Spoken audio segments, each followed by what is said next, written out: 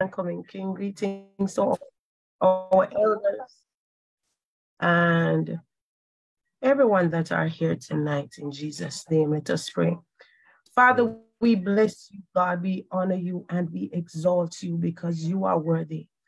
There is none like you, Lord Jesus, none to be compared to you. You are sovereign. Lord God Almighty, you are our life and light. Hallelujah. You are the breath that we breathe, Lord Jesus Christ, and we exalt your precious name. Father. God of Nazareth, Lord God Almighty, as we come before you one more night, Lord Jesus, to gather to feast. Hallelujah. From you, God, we pray, Lord Jesus, that you will have your way with us tonight, God. We pray that you will move among us, Lord Jesus, like you've never done before, God Almighty. Hallelujah. There are some of us that are hungry, Lord Jesus Christ of Nazareth, and we're asking for you to fill us tonight. Father God, we present this platform before you, God, that you will anoint it with your blood and your fire. We present, Lord Jesus Christ, your speaker, Lord God Almighty, that will speak into our spirits tonight. We pray that you will cover under the blood of Jesus Christ. We pray, Lord God, that you will anoint her tongue and her thoughts. We cancel this distraction, Lord God, and anything that will try, Lord God, to disrupt you, oh God, your service. We cancel the operations of hell. We close the portals of preachers and Hallelujah. the ancient. And we decree and we declare God, that the gates of hell cannot prevail against us, Father, because some trust in chariots, some in horses, but we will remember the name of Jesus. The name of Jesus is a strong tower, and the righteous run it in and are saved. Bless the moderator, God. Bless everyone that are here tonight. In Jesus' name. God bless. Amen. Amen. Amen. Thank you, woman of God. We'll read for our scripture lesson tonight from the book of Genesis, chapter 15 and I'll just read while you listen. After these things, the word of the Lord came to Abram in a vision, saying, Fear not, Abram, I am thy shield and thy exceeding great reward. And Abram said, Lord God, what wilt thou give me, seeing I go childless? And the steward of my house is this Eliezer, Eliezer of Damascus. And Abram said, Behold, to me thou hast given no seed and lo, one born in my house is mine here. And behold, the word of the Lord came unto him, saying, This shall not be thine here, but he shall come forth out of thine own bowels. Sorry, but he that shall come forth out of thine own bowels shall be thine here. And he brought him forth abroad and said, Look now toward heaven and tell the stars if thou be able to number them. And he said unto him, So shall thy seed be. And he believed in the Lord, and he counted it to him for righteousness. And he said unto him, I am the Lord that brought thee out of Ur of the Chaldees to give thee this land to inherit it. And the Lord, and he said, Lord God, whereby shall I know that I shall inherit it? And he said unto him, Take me an heifer of three years old, and a she goat of three years old, and a ram of three years old, and a turtle dove, and a young pigeon. And he took unto him all these and divided them in the midst, and laid each piece one against another. But the birds divided he not. And when the fowls came down upon the carcasses, Abram drove them away. And when the sun was going down, a deep sleep fell upon Abram, and lo, an horror of great darkness fell upon him. And he said unto Abram, Know of a surety that thy seed shall be a stranger in a land that is not theirs, and shall serve them, and they shall afflict them four hundred years. And also that nation whom they shall serve will I judge. And afterward shall they come out with great substance. And thou shalt go to thy fathers in peace. Thou shalt be buried in a good old age. But in the fourth generation they shall come hither again, for the iniquity of the Amorites is not yet full. And it came to pass that when the sun went down and it was dark, behold, a smoking furnace and a burning lamp passed between those pieces.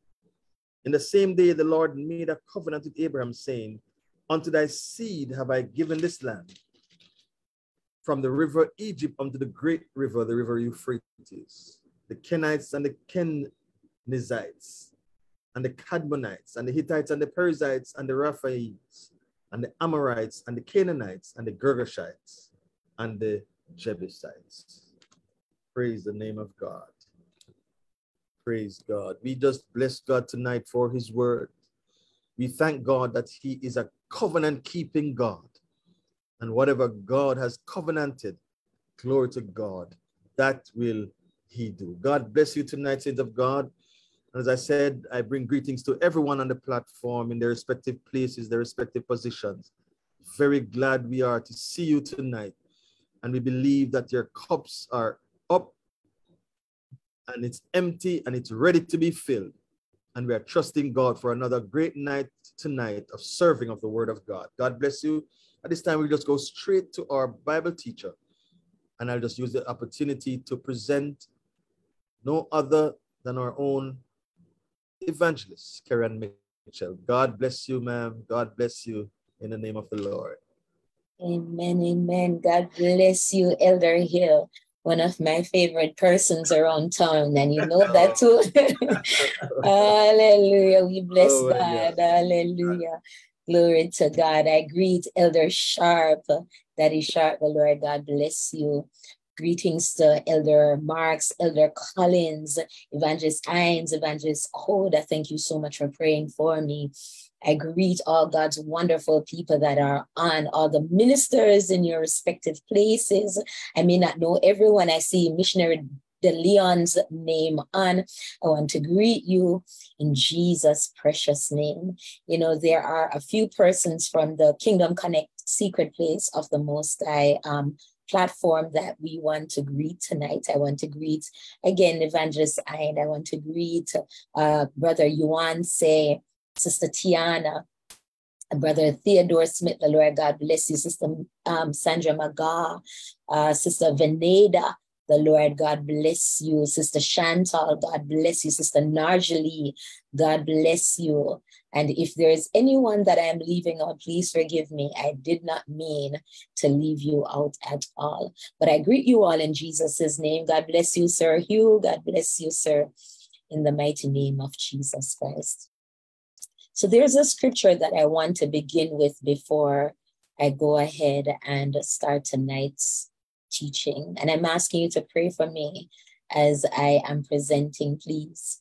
I don't take for granted that the Lord has chosen me to do this. I don't believe that Elder Sharp um, is a man that operates in self. I know that he does so by the Spirit of the living God.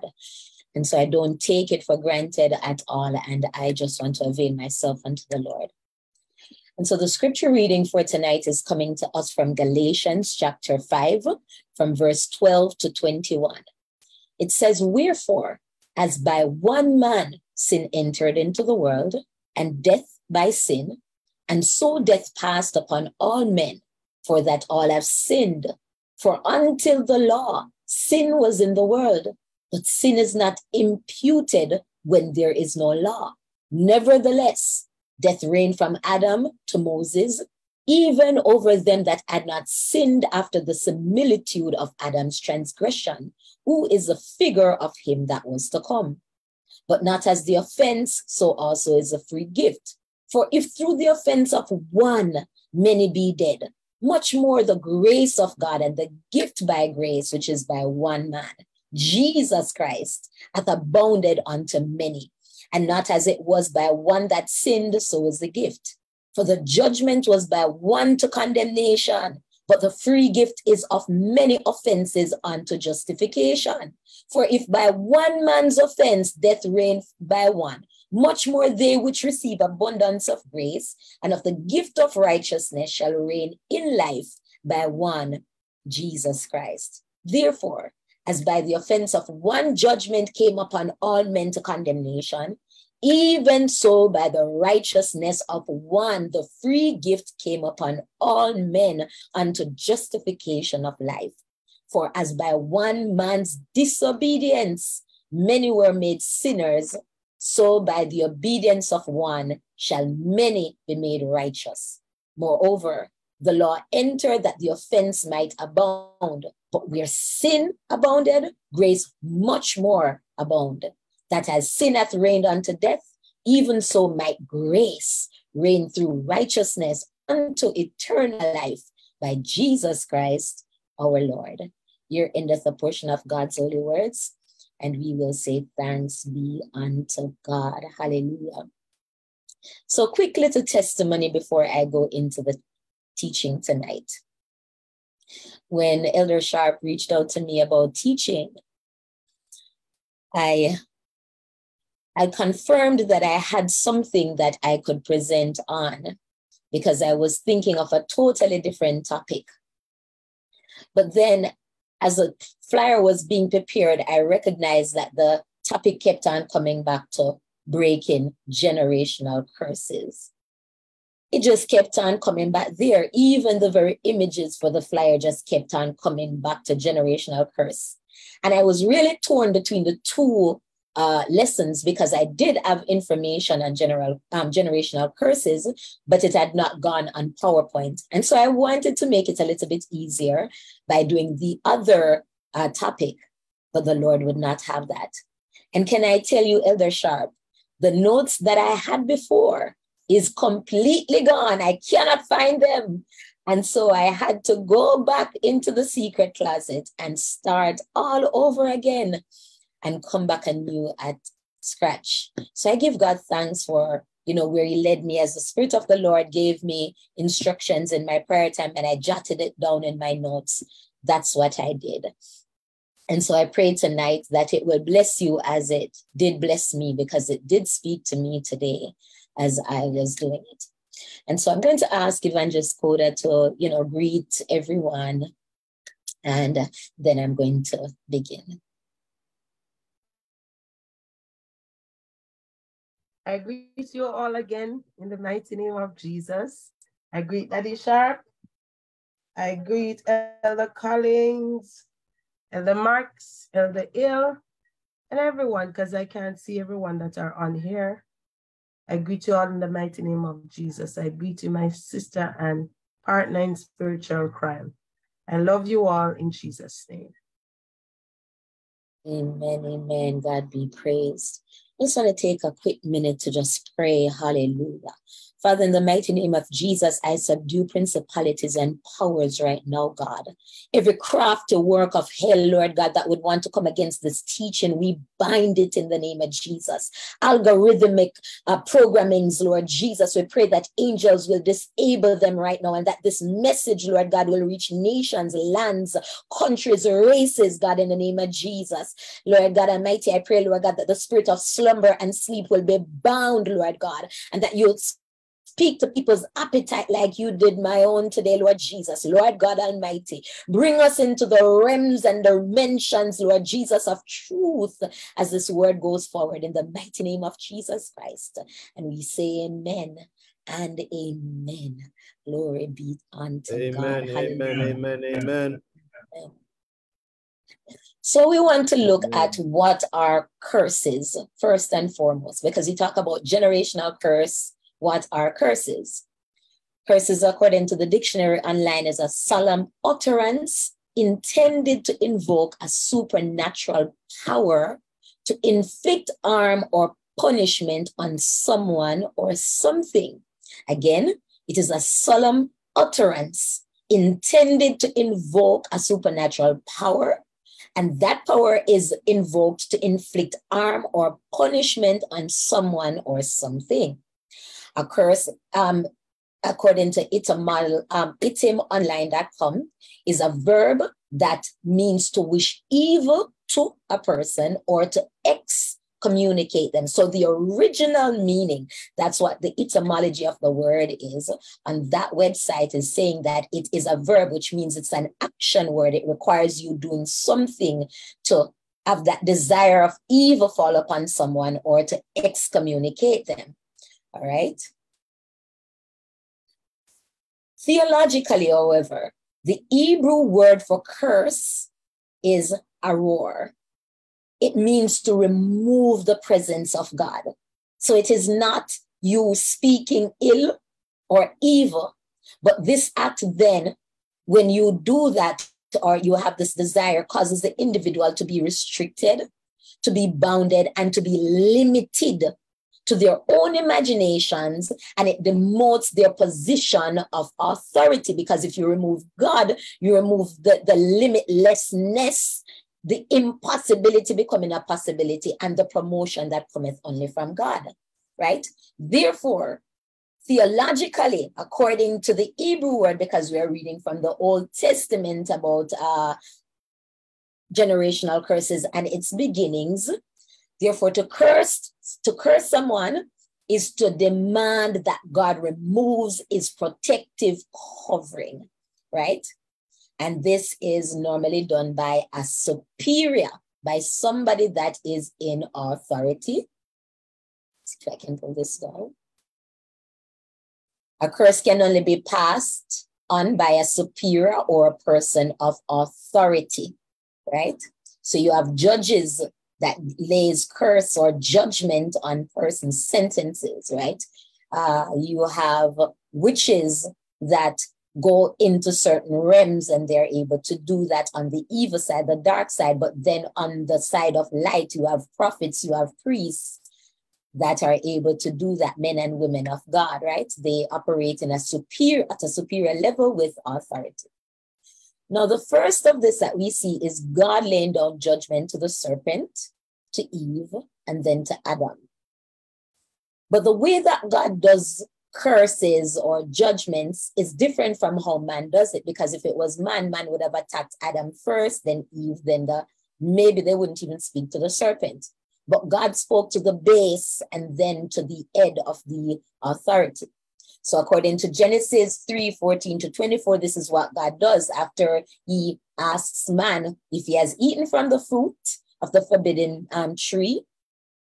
And he uh, confirms, then God begins to deal with the serpent who is at the bottom of the chain, the instigator, the very one that did the beguiling.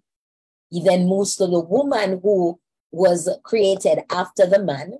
And then he deals with the man who initially got the charge, knew what the tree of good and evil was, and actively ate, knowing that that fruit was what he was eating and what he was not supposed to eat.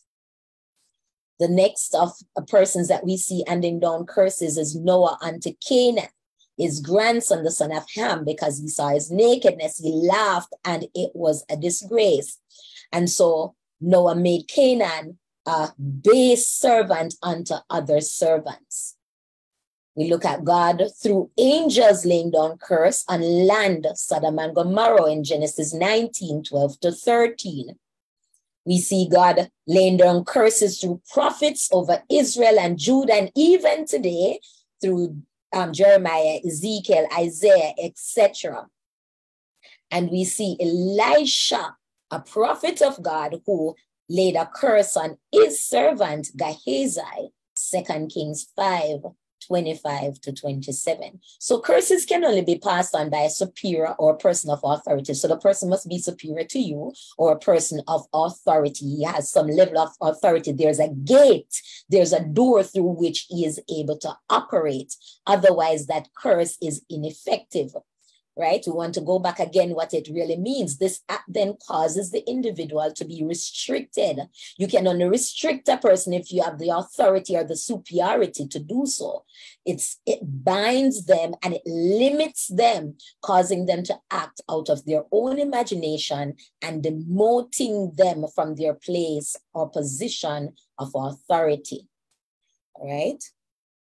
Now, this is how curse moves from curse to generational curse. And we're laying this because you need to know what it is that you're breaking before you break it. See, oftentimes we want to use the weapons of our warfare and we don't know what warfare we are in, what we are coming against. And so I pray that you will pay attention to these things and take note of them so that you will know what it is that you truly need to break. Now, how then does an utterance of punishment spoken against one affects a generation? Because this would be the individual that the curse is laid against. So how does it affect the other pieces that stands in line behind it? Genesis 1, God created systems and placed things necessary in them to facilitate the needs of man for generations. Now, the word generations there stands for time and it stands for descendants or offsprings, right? So you have the geosphere, that would be something that falls in line behind man. That's the spherical concentric um, regions of matter that make up the earth and its atmosphere. So you see the outward part, the space part, right? You have the cryosphere, that's the frozen water part of the earth system, like the Antarctica and those places. The hydrosphere, that's all the water of the earth's surface, so the seas and the, the depths above the firmament. The atmosphere, that's the layers of gas that envelopes a planet. And the biosphere or ecosphere, all the zone of life on earth that extends to the atmosphere and the deep ocean. So like the tree, mankind, animals, the things that you can find in the water. All these things stand in back of man right? So this layout that you see here, this would be Adam and Eve, and behind them would be all the systems of the world that God made to facilitate this, the needs of man. And again, I want you to notice the way that God operates in dealing with curses. He deals directly with the instigator and then he goes to that, the, the one that should be held responsible, right? And so we recognize that these systems were made, and it is from the matter of earth that God took the dust, formed man, breathed into the nostrils of man, and man became a living soul. So man answers for earth and the systems thereof, as well as himself, right? After God made the facilities, he made man. The objective of man was to one, be made in the image and likeness of God. So that image and likeness needs to be kept. Two, have dominion over the creative works of God upon earth. That means he is responsible, he's accountable for God's creative works, the systems. Thirdly, he is called to be fruitful, multiply, and replenish the earth. Fourthly, he is to have dominion over the creative works of God in the sea. And fifthly, he is to till the ground of the garden, dress it, and keep it. These are the responsibilities of man. So when a curse is offered upon one, it trickles down at it and it has a domino effect on not only other persons, but the systems of the world as well. This is the, the, the institution that God did. Adam represented God's image. Adam represented God's voice. Out of Adam came, Adam represented the earth. Adam represented authority and dominion. Out of man came woman. Out of woman and man operating as one flesh came mankind. Mankind now has a responsibility and an, an accountability to keep the systems of the earth. And lastly, Eve would have represented conception because she carried the womb. So look at this. Adam now is standing as a type of Christ, a type of God, because in God lies everything out of God, he pulled light. Out of God, he pulled the system of the world. Out of him, he pulled us. And out of him, he continues to pull other creative things. So then Adam stands in a place where he represents Christ, he represents God. We know that out of the side of Christ came the church, just like out of the side of Adam came the woman, right? Now, the church, just like the woman, in conjunction or agreement with God, we are supposed to reproduce and bring souls to God. So the replenishing is the replenishing of the kingdom and not so much of the earth, right? So we are reproducing in the kingdom. Daily, there should be an addition. All right. Jumping ahead just a little bit, just to give you an outline of where we are going. But again, notice Adam represents God's image, God's voice, the earth, authority and dominion. Out of him came the woman. They two together now produce it, mankind. Mankind has a responsibility to preserve the systems of the world, as the earth, as God has instituted it. And Eve represents conception because once that seed is within her, then the incubation stage continues, the germination and all of that until the time for birthing. All right.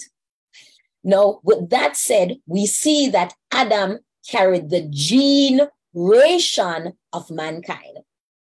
The gene would have been the DNA, the ration would have been the numerical increase or multiplication. A gene is considered the basic unit of inheritance. Genes are passed from parents to offspring and contain information needed to specify physical and biological traits. Most genes code for specific proteins or segments of proteins which have different functions within the body. Humans have approximately 20,000 protein coding genes. Your genome, then, is what they call the gene, is made of a chemical called DNA for short, right? Let us continue because we want to establish why it is that God made up Adam the way that he made up Adam and why he did not need to replicate Adam and Eve after he made them, but all he needed for them to do was to join together. What then is DNA? DNA is the genetic information inside the cells of the body, and those cells lies within the blood that helps make people who they are. It's the instructions for how to make the body like the code to a video game or blueprints for a house. Fine lines. DNA contains four basic building blocks or bases. You have the adenine, that's the A, cytosine, that's the C, guanine, that's the G, and the thymine, that's the T, A, C, G, T. Those are the four basic building blocks or bases for our DNA. The order or sequence of these bases form the instructions in the genome. DNA, then is a two-stranded molecule. No wonder God stressed on the fact that two cannot walk together unless they be agreed. So DNA is a two-stranded molecule. We see that it, in order for that two-stranded molecule to come, it requires a man and it requires a woman. A DNA has a unique double helix shape, like a twisted ladder. The bases on one strand of the DNA molecule pair together with complementary bases on the opposite strand of DNA to form the rungs of the DNA ladder. So on one side, it's the female uh, chromosomes, chromosomes, and the next it's the male, right? The bases always pair together in the same way, A, T, C with G. Each base pair is joined together by hydrogen, that's natural gas. In Adam was the gene and the DNA needed to replicate, multiply, and continue mankind. So within that sperm lies coding within that sperm lies proteins within that sperm lies blood within that sperm lies everything that would be needed to multiply however adam alone would not form the double helix. So god pulled a rib from his side and formed a woman his woman that was the complementary the opposite strand needed to replenish the earth with man. Together they represented the chromosome. So, oh God, when I was doing this today, I started to think about how wrong mankind's mind have become because we have gotten to a place now where we want to redefine what a woman is. And you'll never be able to redefine nothing because if you don't have a womb, you're not a woman. You're, the whole thing of it all is that the woman is supposed to be complementary to the man. She's the helpmeet. So in Jewish uh, teachings, they have it that the woman represents the, the wisdom, and that's why she's seen as a crown of the man, right? But she also represents womb because that rib that was pulled out of the man is no longer there. So a man cannot uh, conceive and, and, and grow anything within himself. It will not germinate there. He needs a woman. And so the two together, the opposite Lord God, not two man, not two woman, one man, one woman. That's God's whole genetic setup. Together, they represent the chromosome, the XX, the Y, the XY. All right? Amen. Genesis Amen. 2. thank you. Genesis 2 21 to 23 says it this way. And the Lord caused, the Lord God caused a deep sleep, and that we know is to represent surgery. That is where man get the whole intent from of putting people under anesthesia. God Himself set this up to fall upon Adam, and he slept. And he took one of his ribs and closed up the flesh instead thereof. And the rib which the Lord had God had taken from man made he a woman and brought her unto the man. Now remember, Adam was fast asleep when God did this under deep anesthesia by the Holy Ghost. But year 23, and Adam said, This is now bone of my bones and flesh of my flesh. She shall be called woman because she was taken out of man. He didn't know that it was a rib that was taken out of his side and that that rib comprised of the womb. But because of the Spirit of God, he had that discernment, that word of knowledge, that word of wisdom, and was able to declare it. Because remember, Adam represents the voice of God to the systems, and the systems must obey him because he's given dominion over it. Now, humans have 22 pairs of numbered chromosomes and one pair of sex chromosomes for a total of 46 chromosomes. Each pair contains two chromosomes, one coming from each parent, which means that children inherit half of their chromosomes from their mother and half from their father. So if your mother is freckled, chances are you may be freckled. If your father is short, chances are you may be short, right? Because you take chromosomes from each of your parents. But I want to stick a pin here because there is a genetic agenda from hell where they want to dictate the sex of a child. Did you know that the moment a sperm reaches the egg and it accepts it, the sex of the child is determined. So, what you are doing is you're corrupting DNA, you're corrupting chromosomes, you're corrupting that child when you go and try to change the sex because it appeals to you and you want to be Lord, you want to dictate. Lord God, we need to be careful. These things are all generational curses.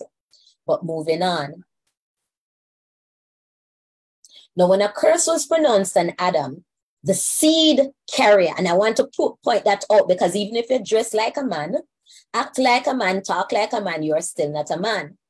A man requires to have a seed, a woman requires to have a womb. I cannot overemphasize that. Now, when a curse was pronounced on Adam, the man, the seed carrier, to reproduce mankind, and Eve, the egg embryo carrier, the one with the womb through whose body the seed fertilizes and germinates to a living soul, child, or mankind, the curse was carried through blood to the next ratio or ration of man to be born, hence generation. All right, let's move forward. And let me repeat that once more, just in case it never got home. Once the curse was placed on Adam, who bore the seed, that sperm, and Eve, who has the egg, that embryo, and they came together, blood transfusion happened, and that child, that man that is going to be born, whether a woman or a man, now has that bloodline that is cursed within them, and it is being passed now to the next ratio or ration of people. That is why the word is generation. So when you break it down, the gene is being transferred to the next number of people that are going to be multiplied and given authority and dominion should stand in the position as representatives of God over the systems of the world or the earth. Moving on. The etymology or the origin of the word ration in 1950, it meant the mental process of reasoning. Later, it became the relation of one number to another. In the 1960s, they then uh, changed it to fixed allowance of food. That is why we will say ration, right? Or other means of subsistence for a fixed period of time. However, in 1702, often rations from the French ration in this sense not too sure what that means. I don't know why I put that in. Please forgive me. Moving on, all are from Latin rationem, right? That means reckoning, numbering, calculation, business affair, procedure. And I absolutely love this reason, reasoning, judgment, understanding. You know why?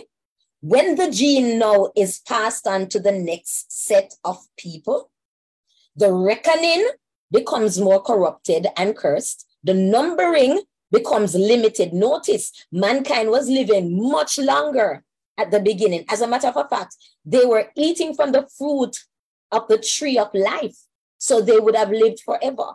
But the moment a curse was handed down, man's day became numbered. A day in the, in the sight of the Lord is a thousand years. And so, because man was promised that within the day that he ate the fruit, he would have died, Adam and Eve could never live to see a thousand years because that would have been a day in the sight of the Lord. So they died before that day could ever be calculated. Amen. It started to reduce and reduce and reduce. But not only that, curse now starts going into business affairs. It starts to enter now into the procedure of man because their hearts, their reasoning, their thoughts, their judgments and understanding is now becoming desperately wicked. Let's move on. These now are eras in which generational curses affects people. And this started from Adam and Eve eating a forbidden food, disobedience. God and mankind. There was no ratio, no numbering, no limitation, no, no, no form of uh, limit where man was concerned with his relationship with God. God, all things were given into the hands of man. God created, and in Genesis 1 28, he specifically said, the fowls of the air and other things on the earth. He spoke about uh, the things in the sea, and he spoke about all the things that are on earth, like the trees and all of that, and the herbs that he gave for the nourishing of man. So all things was given into the hands of man because it was made for man after all. Man sought God to commune with during the day, and God would meet with man. God never limited the time in which he would come with mankind. God would also seek out man because he would bring to man and give him free course to give a title and name and description to the things that he had created. My God. And I absolutely love reading these things. And I think I want to read them before I move on. Just for those of you that don't know the things that the Lord has given unto man. Gen- Genesis 1 28 to 30 says, And God blessed them and God said unto them, Be fruitful and multiply and replenish the earth and subdue it and have dominion over the fish of the sea and over the fowl of the air and over every living thing that moveth upon the earth. And God said, Behold, I have given you every herb bearing seed, which is upon the face of all the earth, and every tree in the which is the fruit of a tree yielding seed to you it shall be for me. Notice this. Everything must have something that is complementary to it. For the seed having in itself an egg and an embryo, and it germinates underground, just like the seed germinates within the body of a woman out of sight. And when the, the time comes for it to shoot forward, then it begins to bud and it begins to multiply. So everything follows a due order. You can't change nothing. And so I know that it is a, a demonic agenda in this time and season. And listen to me well when I say this, people of the living God. The moment Satan visited Eve and Adam in chapter 3, LGBT, LGBTQIA plus two, or whatever they want to call themselves, was on this devil's mind because he saw that together the agreement that was between Adam and Eve, Lord Jesus. Remember what God did. God said the two is now one flesh. How is that even possible? And it is a mystery that concerns the church and Christ, one flesh. The Lord continues to talk about an agreement that the two cannot walk unless they be agreed. And when they come into that agreement, Lord Jesus, there's a there's something that that comes out of it. Look at the agreement between a husband and a wife. When a husband and a wife comes in agreement when they have that skinship and they get to that place of release, there is something that comes out of it. There's a birthing. There is always a seed. There is always something physical that is birthed out of that relationship between the man and the woman. And that is what the enemy is trying to kill. But he will never be able to kill it. So let's move on. And to every beast of the earth, and to every fowl of the air, and to everything that creepeth upon the earth, wherein there is life, I have given every green herb for meat, and it was so. God did that for man. 3 8. And they heard the voice of the Lord God walking in the garden in the cool of the day.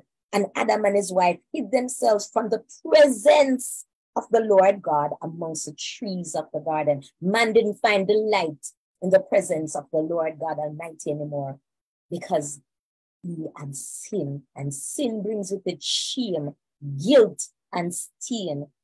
Mighty God. So all this beautifulness that was happening with them and God when they came in, Lord Jesus, the Adams before God, they are now hiding from God.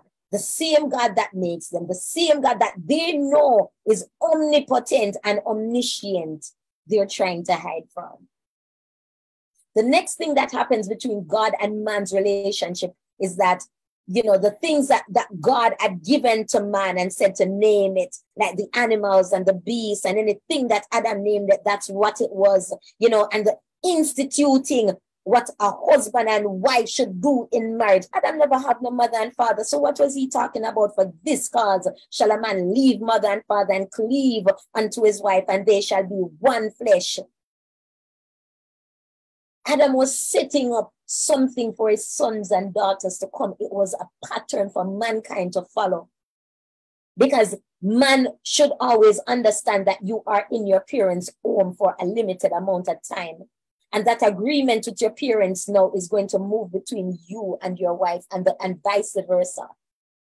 Because there's something that happens when you come into that home and you're in agreement Lord Jesus, there's structure and there's a, a, a, set of systems that you are given responsibility for.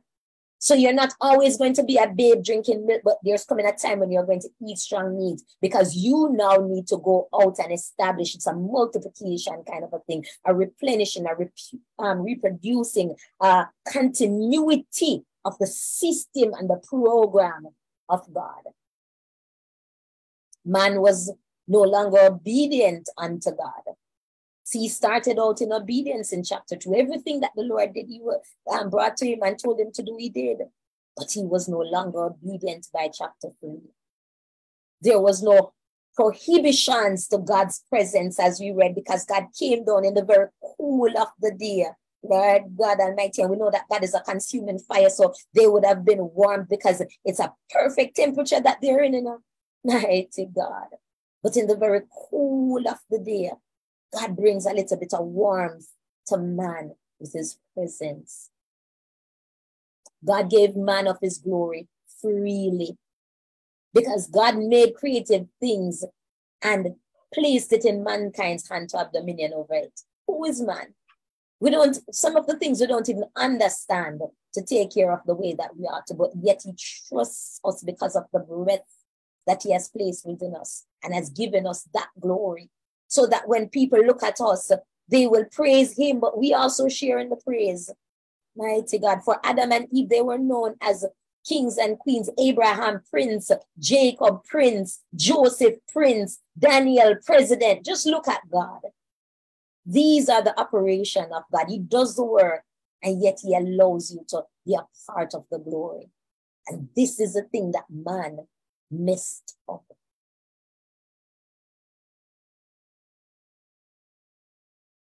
The next thing is that in chapter 3, verse 1, the woman gives ear to the serpent. No, when she gave ear to the serpent, what that did was to open a gate to her desires. And that gate was open through her ears and her eyes. That's connected because that's a frontal lobe and a temporal lobe. that gets into our heart and our thoughts and it influences our behavior. She then introduces it to the man. And remember, both must be complementary and come together to produce the gene needed to create the DNA that then replicates. So if they are both corrupted with disobedience, Lord Jesus, it's a corrupted DNA that is being handed down to mankind. So this is where generational curses are coming from, from the very beginning in Genesis chapter 3, verse uh, 4, I think. Verse 6. So now in verse 3 to 4, the woman gives the serpent the info with which to manipulate her mind. Because notice when he came to her, what he said, did God, yea, hath God said, ye shall not eat of every tree of the garden. Didn't know which tree specifically, you know. The devil cannot understand some things in the presence of the Lord. There are some things that is hid from him. And it is us that gives that information. That is why we are to be protective of the things that the Lord has given unto us. Because here it is now that she confirms and says, Yeah, we may eat of the fruit of the trees of the garden, but of the fruit of the tree which is in the midst of. So you tell the location of the tree and you tell what the tree is and you tell what the consequence is. For in the day that you eat of it, you shall die. Don't touch it. Don't eat it. Because if you do, you're going to die. And I don't know where she got that part. Um, don't touch it because when we read in chapter two, the only thing we heard was, do not eat of it. But she heard, don't touch it. So we understand now that what is happening, because she gave him this information, the mind of God is no longer operative in her. The two that is one then joins in agreement, and the knowledge of God becomes corrupted in them. So from the very first, the, the generational curses are able to spread because of man's ability to retain the knowledge of God. If you're not able to retain God, then your DNA is so corrupted that the flesh gives way and does the things that the Lord God Almighty says that you're not to do. There's no innocence, there's no purity, there's no truth. Verse 5 to 6 the lust of the eyes is introduced. Evil knowledge now becomes operative. The pleasure of the flesh is now enticing the woman. Desire is increased for evil and ungodly wisdom, and, and um, for evil and ungodly wisdom is now being sought after. Let me repeat that again.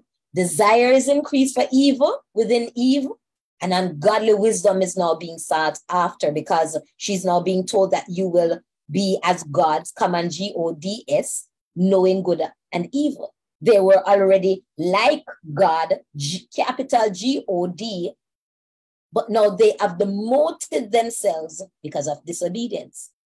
Disobedience is introduced, desire is shared between the husband and wife, and defiance spread. So you now begin to find lies, manipulation, deception, and delusion. Because the Lord never told them that the tree was good for food, but they start to see it now as something that is desirable to eat from.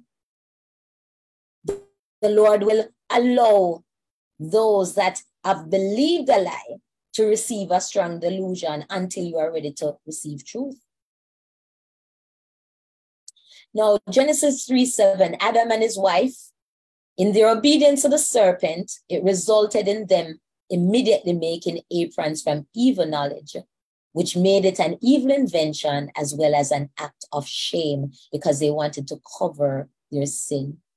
Husbands and wives should be conscious, should be more conscious of what it is that they are willing to create among amongst themselves. Because the truth of the matter is in chapter 225, they were both naked, the man and his wife, and they were not ashamed. But when sin came into the camp, they were ashamed and they wanted to cover themselves. And I put it to you, they weren't just covering themselves from, not from God, but from each other. Finally, 3 9, God searches for man because he is now unrecognizable. It's not because God didn't know the location of man, but when God looked at man, he saw his image and likeness. No, God cannot look on man because sin is in the camp. And if God looks on man like that, then he will be destroyed. See, the word subtle is the same word that signifies naked, right? That same nakedness represents cleverness and mischievousness, which means they became like the serpent. They were no longer bearing God's image and likeness. And this is now the reality of all mankind. Ever up to some clever ways, ever up to some mischievous ways. Romans 5 12 to 14 says this.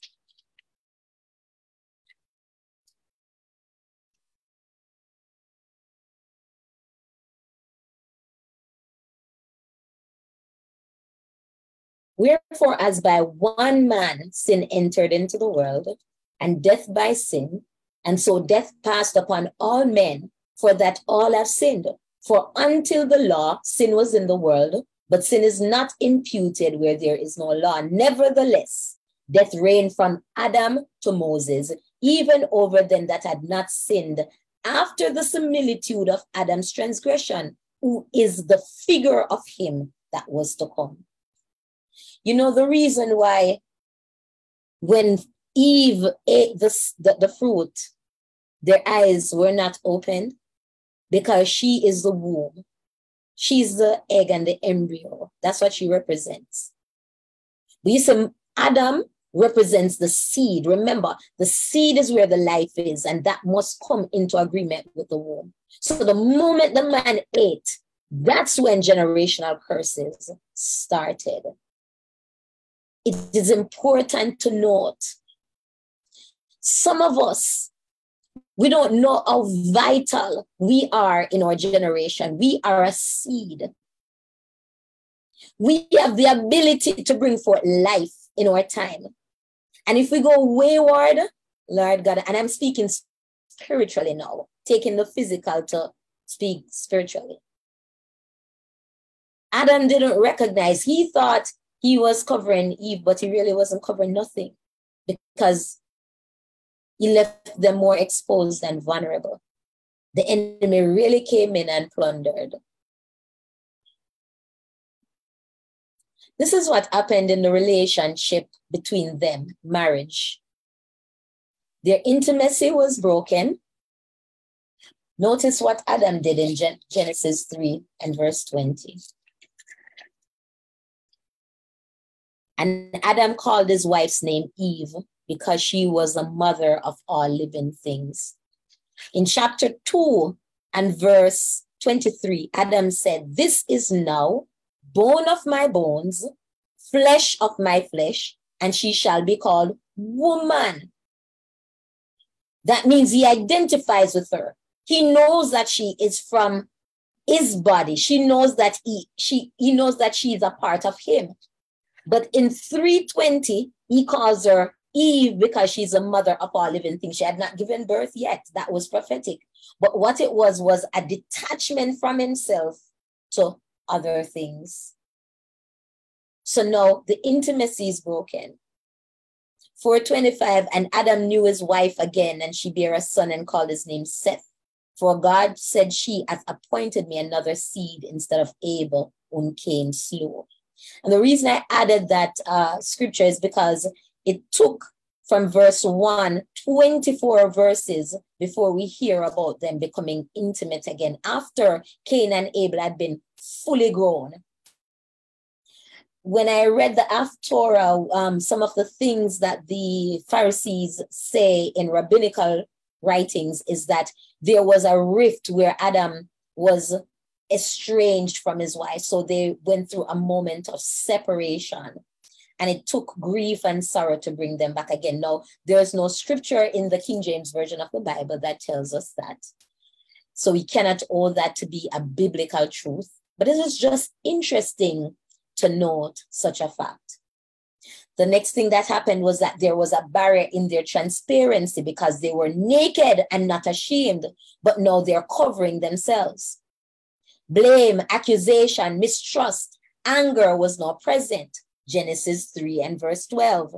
And the man said, The woman whom thou gavest to be to be with me, she gave me of the tree and I did eat. So no, God, are you, are you give me the woman there? And she give me and me eat it. Woman keeps hoping and desiring that the next seed will reconcile her to God and her man. Her desire is no longer first to God. 316, this is what God says unto the woman, He said, I will greatly multiply thy sorrow and thy conception. In sorrow thou shalt bring forth children, and thy desire shall be to thy husband, and he shall rule over thee. That was a curse because they were both equal in desire to God.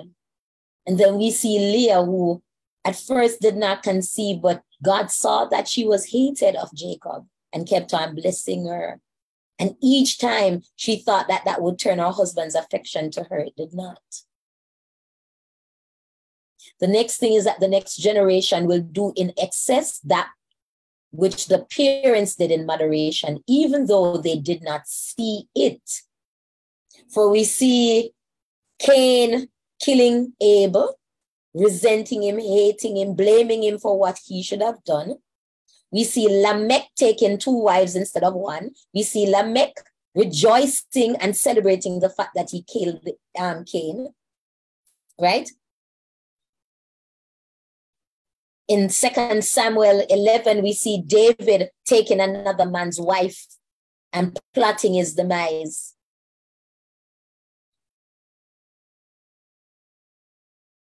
And that conception dying.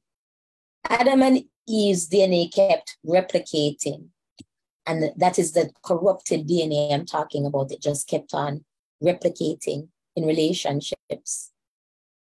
We see Anna, who, even though her husband was not putting a weight on her, could not bear what the world had to say where her marriage was concerned many things happen in marriages that's a generational curse. Your mother or your father may, you know, be the ones who divorced or could not talk peaceably to each other, and you identify that as love and you want to bring that over to your relationship, but that's something to reject. Not communicating, not being transparent. God didn't institute it like that. Submission should be two way.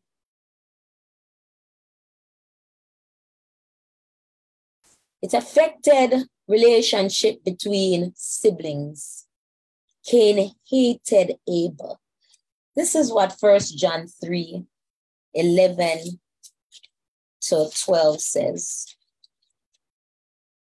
For this is the message that he heard from the beginning that we should love one another, not as Cain, who was of that wicked one, and we know the wicked one is the devil, and slew his brother, and wherefore slew he him? Because his own works were evil and his brother's righteous.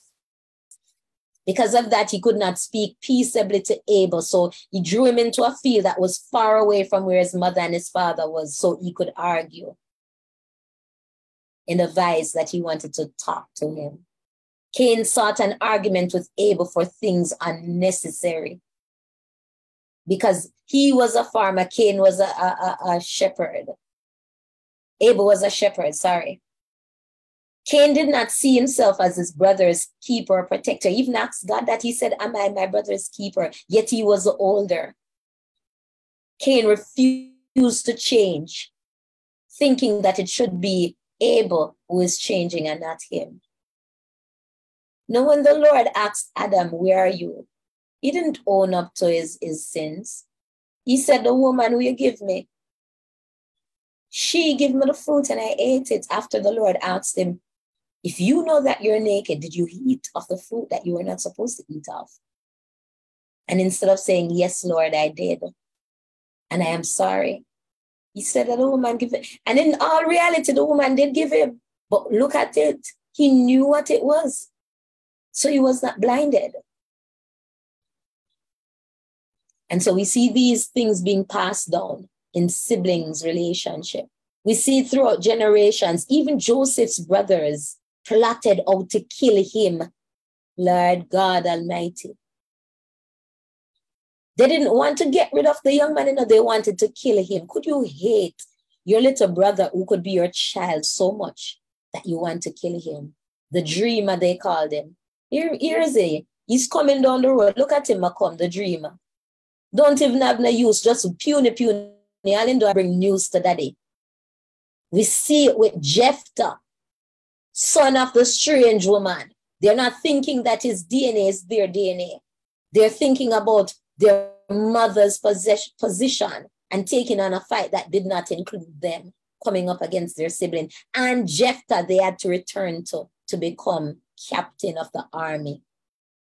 David, who shared one father, one mother with his siblings, was seen as a proud, arrogant one. And a jacket, because when you read uh, certain things, certain writings on the life of David, his mother was in a state of divorcement for, from his father. And she actually tricked him into sleeping with her so he, he would not be able to marry her servant. And so all these things, they are generational curses. They have been happening from the beginning. The moment man sinned. There's a curse that goes between familial relationship of parents and children. Adam in chapter 4 of Genesis actively is not actively recorded teaching his sons anything concerning God. Nowhere in there in chapter 4 do you see him teaching them about the things that he heard and saw of God. I believe that he taught them how to sacrifice because they would not have known unless they had been taught. But there's no recording of him imparting anything with them until we get to where Seth is born and we hear that man begins to call on God again. So it must be that some knowledge is passed on. Generation curses affects familial relationships through blood tie and name. Because Genesis chapter 5 begins to tell us this in verse 1 to 3. This is the book of the generations of Adam. In the day that God created man, in the likeness of God made he him, that's Adam. Male and female created he them and blessed them and called their name Adam in the day they were created. So God made a replication of multiple men and women and called them Adam. So they were adopted sons and daughters to Adam. And then in verse 3 and chapter 4, we see that Cain and Abel and Seth are the biological children of Adam. So generational curse then affects familial relationships through blood tie and name. And when it is a name or a blood tie, it is a covenant. Most time when you take on a name, you have to come into a covenant. Covenant. And adoption requires you to sign paperwork. Marriage requires you to sign paperwork, right? If you claim ownership of something through purchasing it, bartering it, trading it, it requires you to have a bill of sales, right? So if you are tied by name, it's a covenant. If you're tied by blood, it's still a bloodline covenant. So generational curses then are covenants. Let's look at Adam. Adam became a generational curse to Cain, ultimately Abel. He became a curse to Lamech, who slew Cain, ended up dying himself. He became a curse because he now has genes within him that writes death at a particular age, and it is passed on unto his son. So the knowledge of good and evil is passed on through the genes. Death is passed on through the genes. Old age is passed on through the genes. Sickness is passed on to the genes. Disabilities are passed on through the genes because they are now being corrupted. Let's look at Achan. Achan delivered a curse to his family through bloodline and through name because his wife, children, animal, everything that was tied to him died. They were stoned because he did abominable. He disobeyed. He took a Babylonian garment that he was not supposed to take. Let's look at Gehazi. He ran after Naaman and took a gift that the prophet Elisha had rejected because he thought he knew better. And his wife and all of his children were smitten with leprosy. So now his DNA is writing leprosy. Now his name is carrying leprosy. David and Achan's name now carries the word troubler behind it. So the generational curse is now trouble. Adam is unto all mankind, you know, but Achan is trouble. Gehazi is leprosy. David, Lord Jesus. Conspiracies. We see where his son even tried to conspire against him. Because he took Uriah's one wife, God allowed his son to sleep with 10 of his concubines on a hill for everyone to see. He conspired with others and sent messengers to kill Uriah. The Lord God Almighty allowed Absalom to see to have secret counsel with people that he would have counsel with and turn their mind from him. So we understand that now generational curses is a covenant. It can be a bloodline tie or it can be a name tie, but whatever it is, it keeps on flowing from one to the next, and it gets worse each time. For what the fathers are doing moderately, the children are doing expressly. It then affects society.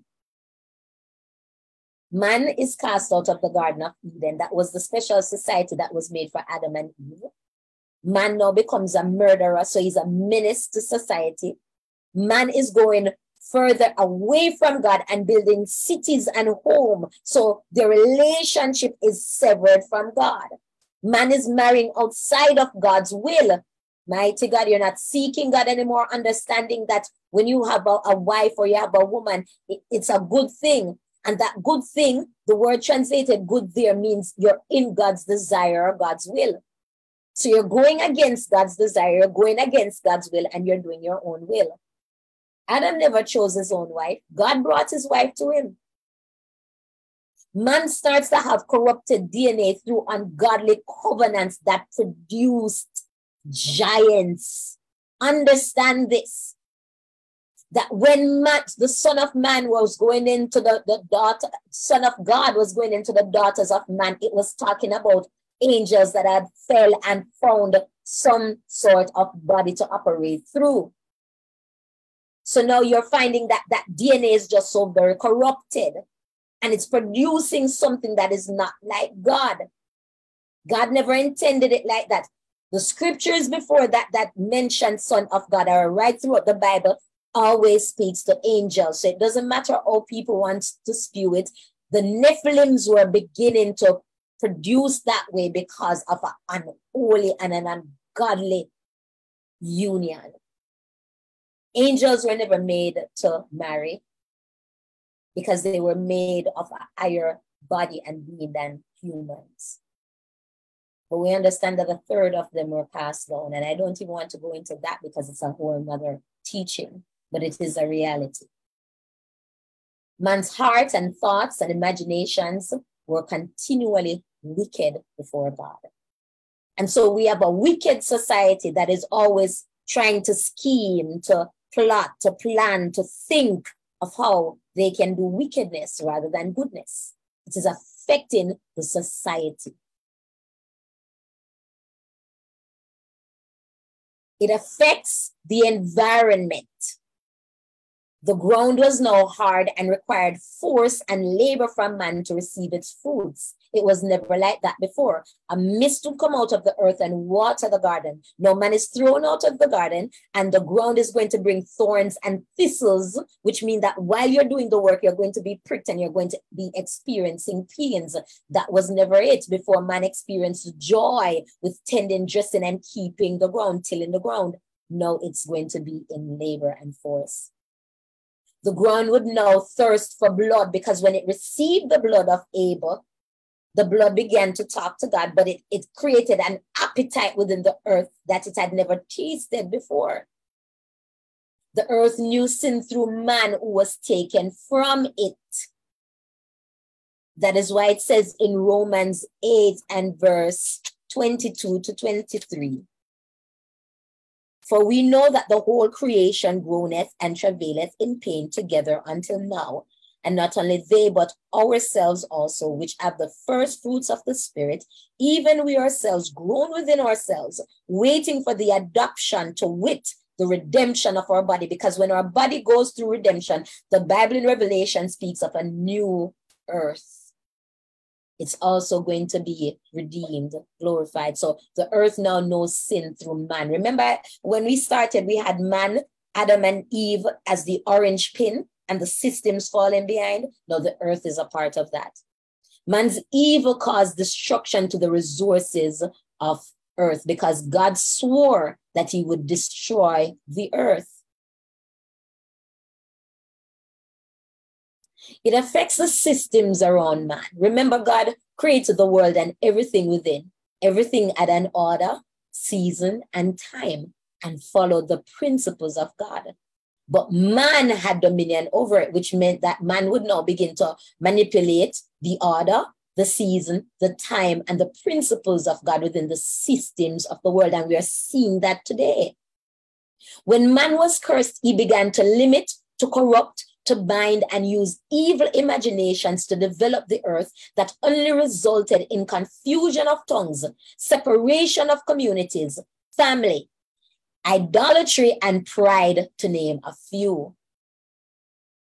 The gene curse that began to put a ration on man affected every covenant of man through God to preserve and has made a covenant to destroy. So now the covenant that man had to, to replenish the earth and to keep the earth to replenish to, to preserve it was now turned into a covenant to destroy it because he has now come into covenant with the serpent, the devil. That is why man can lay in wait for other man. That is why man can kill man. That is why uh, a man can sleep with another man's wife and they will plan and you know set up their dates and stuff like that because man has now gone into a covenant of destruction. Man is a tripart being, body, soul, and spirit. When we accept salvation through repentance, water baptism in the name of Jesus Christ, and the infilling of the Holy Ghost, our spirit and soul that was rationed and went further away from God was alienated and suffered death and ultimately would inherit hell became regene. With there being no more ration on our communication, relationship, and intimacy with God. Therefore, our name is changed and we are now called the church or the bride of Christ. Yet, there remains a generational problem because our, our body, remember, we are tripart, the soul and the spirit is regene, but what about the body? Now, how does it affect the church since as it affects all the other relationships? Our DNA that was corrupted and started to have anomalies and disabilities that needed to be now um, corrected. It had what was called sin. Sin became a habit. So we see where David is saying, In sin was I shapen, and in iniquity, right? So it became becomes now an habit. From you were young, you start. Nobody teaches a child how to lie. If a child takes something and they have it behind them, and you're asking them, they're going, they're saying no, and you're looking at the thing behind them.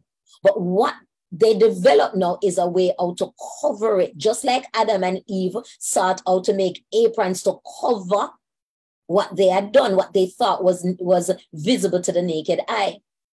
Lust is now conceived, that's also a corruption and anomaly and a disability in man's DNA, and still has the ability to overtake us. James 1 and verse 15 says this.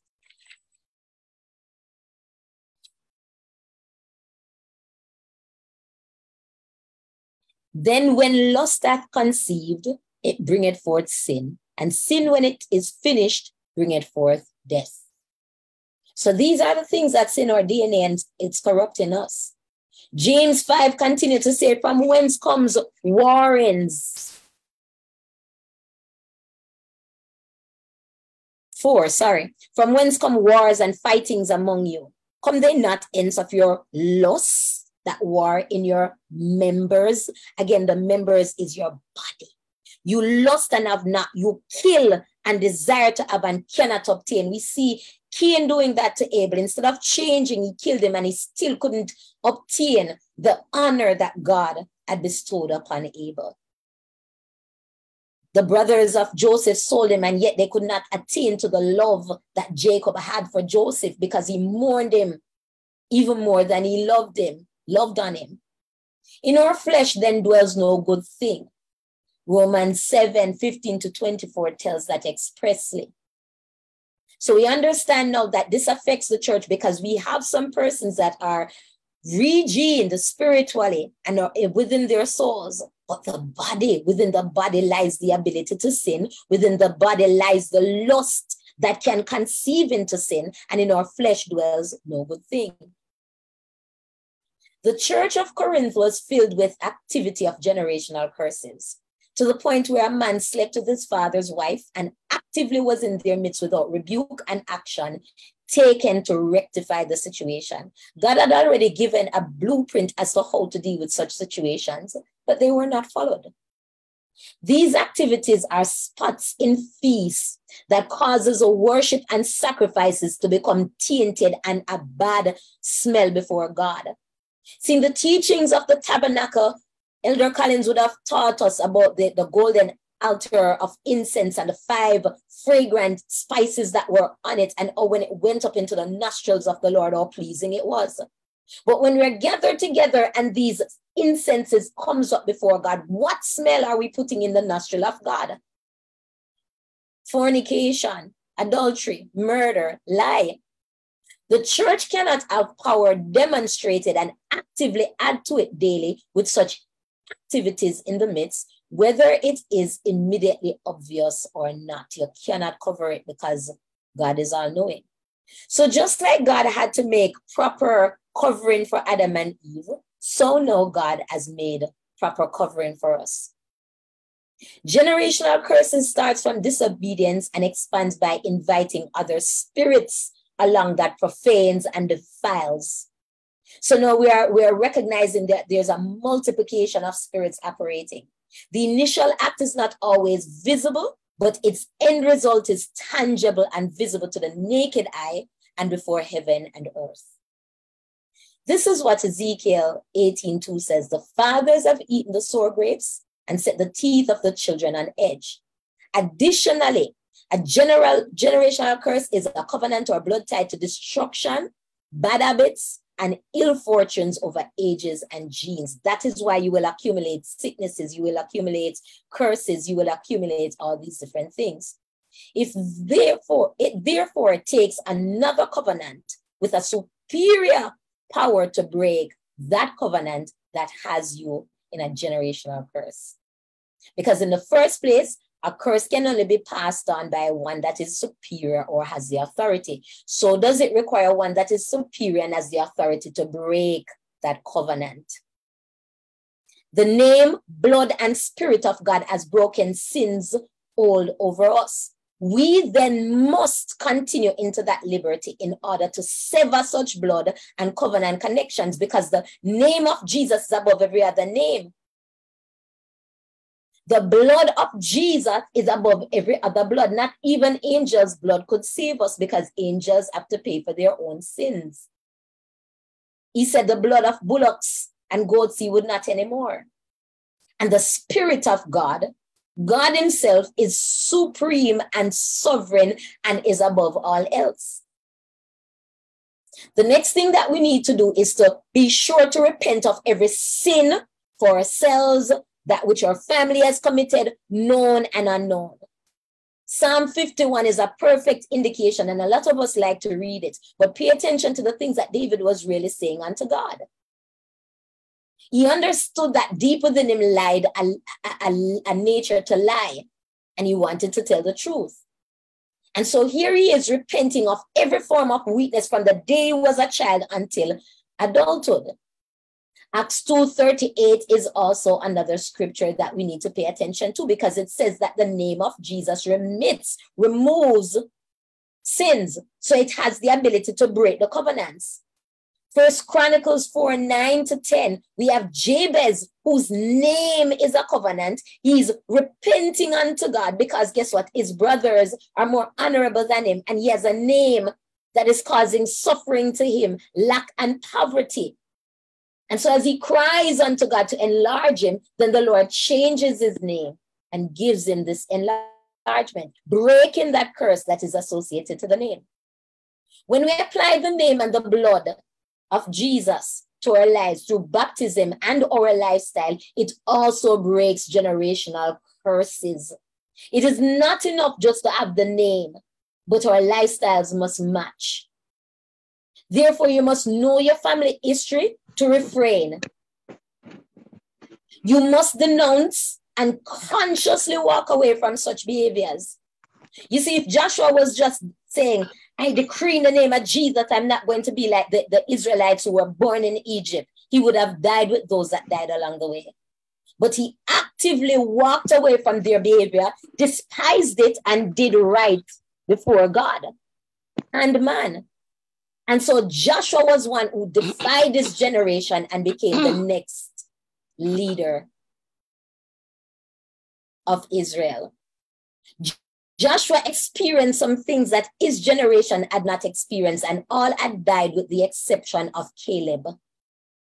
So understand this just saying I denounce, just saying I decree, just saying, you know, I reject is not enough. Your behavior must match whatever declaration is coming out of your mouth in order for you to break those generational curses.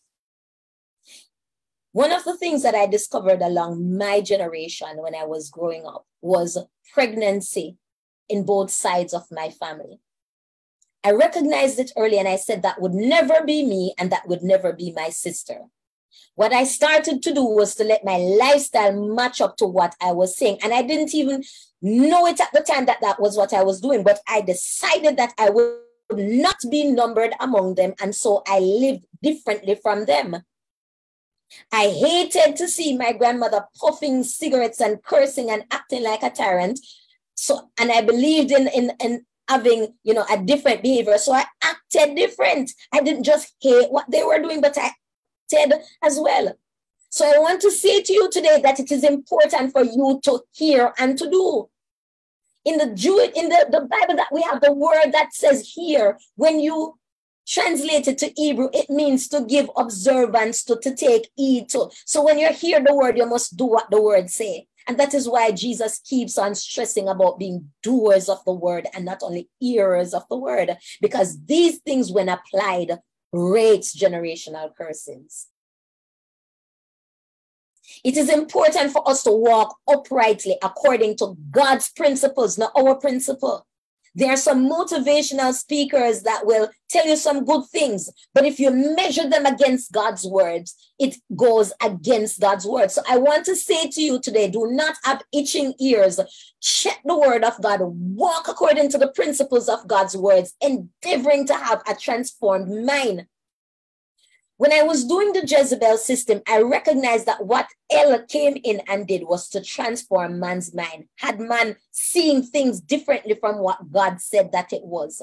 And so, in order to bring back man into connection with him, God had to come and reteach man Lord God Almighty. And that is why he would attack the very ears that the Jezebel system was very strong in. The Babylonians, when they took the Jezebel system and expanded on, on it, what did they do? Take the most skilled, the most knowledge, um, the, the most um, able, the youngest, the noble, and the royal blood and they began to teach them their way. The intent was to get them at a place where they would operate like Babylon. If you feed people with enough information, after a while, they're going to start acting out their thoughts because your heart and your thought is connected. Your thoughts and your emotion govern your actions. So if you don't have a transformed mind, a renewed mind, then you're going to act in the old way, the Adamic way. But when your mind is transformed according to uh, Romans 12 and all the teachings of Jesus, then you're going to walk like Jesus walked. Understand this that a a Christian who has been baptized in the name of Jesus, filled with the Holy Ghost, repented of their sins, and daily they are not endeavoring to walk after God's word. They are not of a renewed mind, they are not of a transformed mind, and they remain a babe. They're in a state of disability because you ought to be growing, you ought to be developing. Your bones are to be getting, be getting stronger as you read more and more, which means that your will is now decreasing and the will of God is increasing within you. The word of God is finding space to germinate within you, and your actions are being transformed. This is where now you become converted and can save another. Remember what Jesus said to Peter when thou art converted, save the brethren.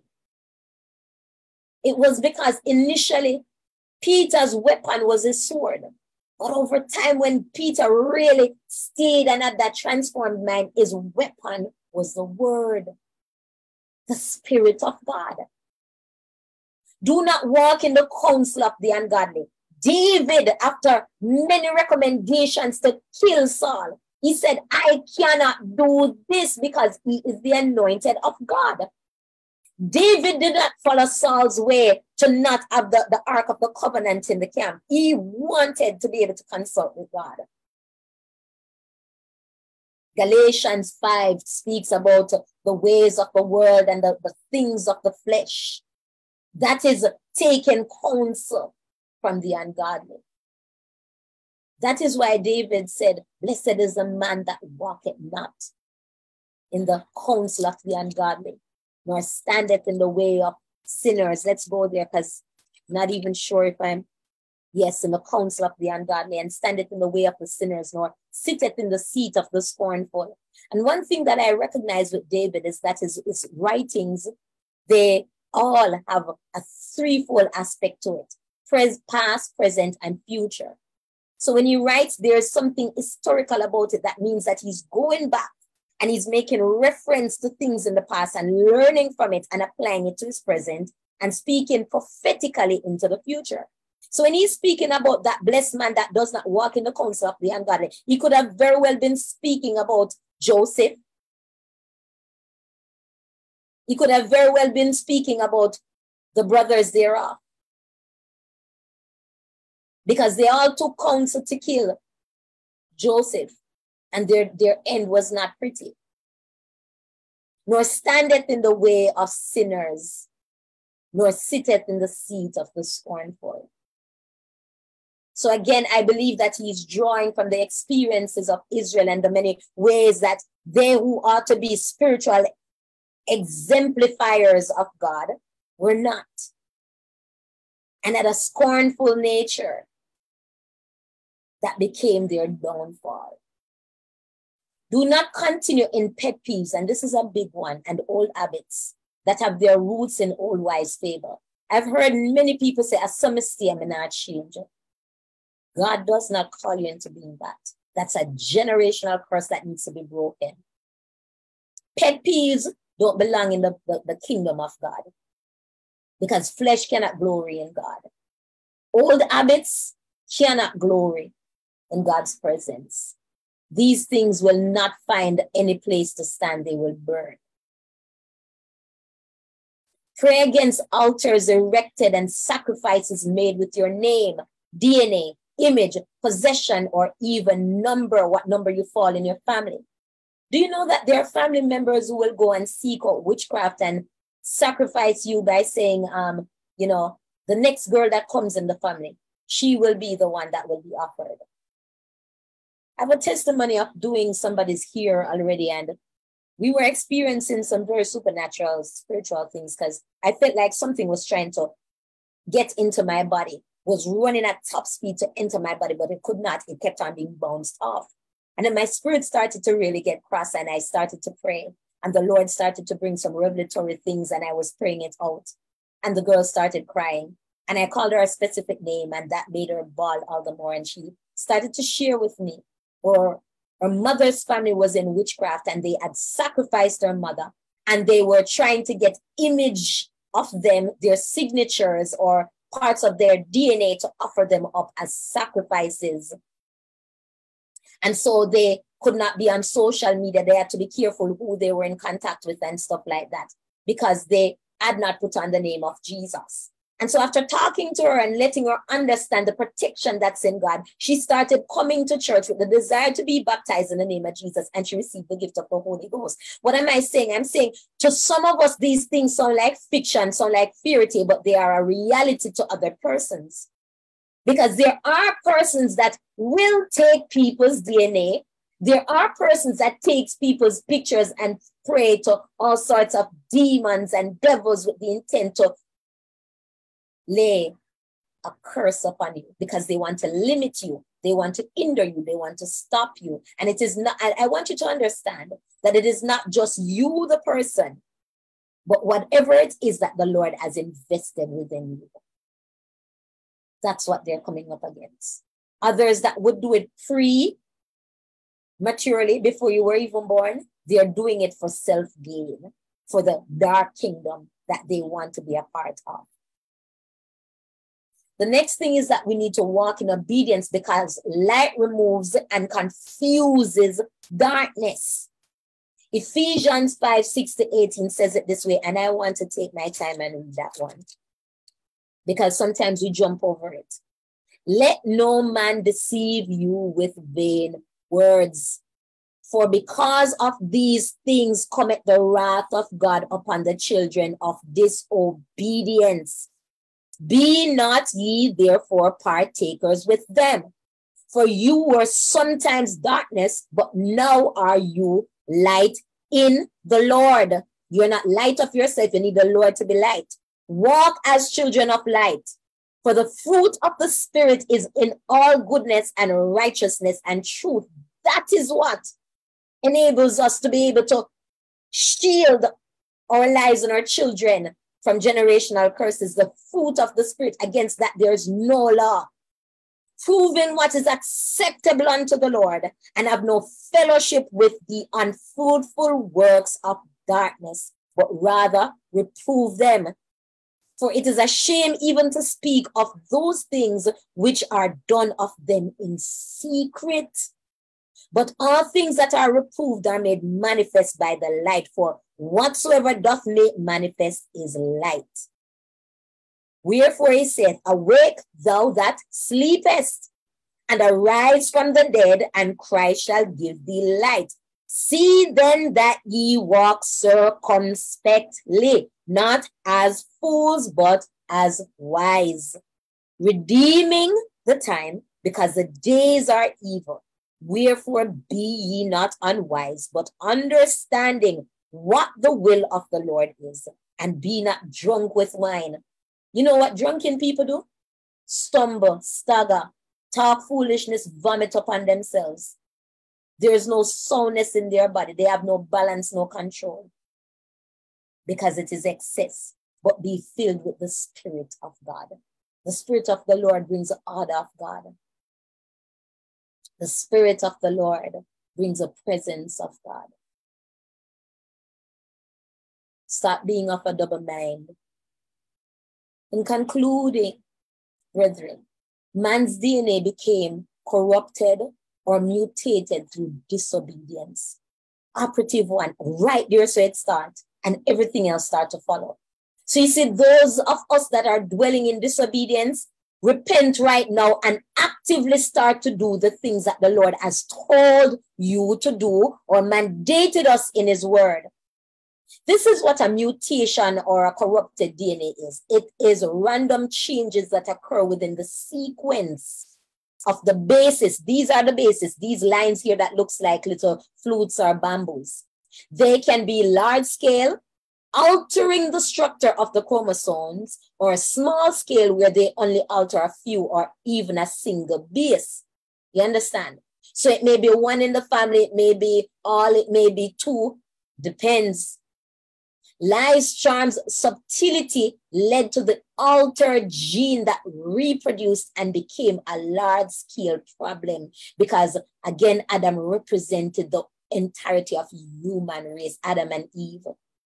So lies from the enemy, charms from the enemy, subtlety and disobedience led to a large scale problem.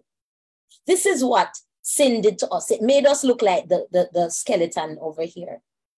But Jesus, typifying the second Adam, has come to correct our DNA and return us, restore us to sons, as well as our behaviors to change them and our thoughts. So now we don't look like dead people anymore, but we now have a form and an image.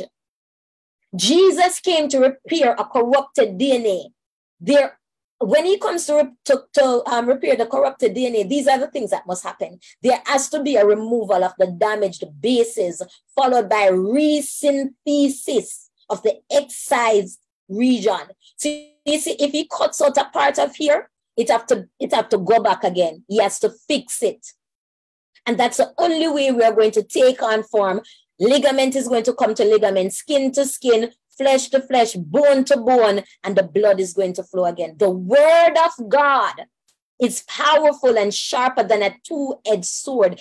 Hebrew 4 verse 12. That's why it divides joint and marrow because it that is what gets down into our system and begins to repair that corrupted DNA. It begins to sever those things that your mama and your, your papa used to tell you. You used to make the X over your bed with the olive oil. You used to stretch out the Bible because you think that putting the word on the bed and not having it in your heart is what's going to be your your, your protection. You believe the tape measure and the horseshoe. You believe going to that mother and getting the bath is what's going to settle it and, and change all the um, curses. No.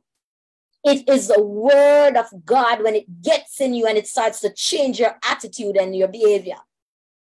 Remember when David sinned against God, Absalom was not there. Amnon was not there. Yet Amnon took evil counsel and sinned against his sister. Absalom devised, conspired, and meant to kill him. The things that you do in darkness, the word of God, this two edged sword comes like light into you and it begins to give truth in the inward part of you and it begins to sever and it begins to make a change. It begins to cut out and to repair and to reset. That is what we need today. The word of God. So it's not so much the things that you are coming out of your mouth with that's making the internal internal change. When the internal change happens, then whatever you declare out of your mouth, it's going to be. Amen. Understand the order of it. The declarations of failure, of doom, of weakness, disobedience, every lie, slothfulness, that is action. You're not fervent pride and abusive words you have been making over your lives, your children, your family, and others, stop making them. Get the word of God into you. And when that word of God gets into you, start declaring the word of God over yourself and over them. For life and death is in the power of the tongue.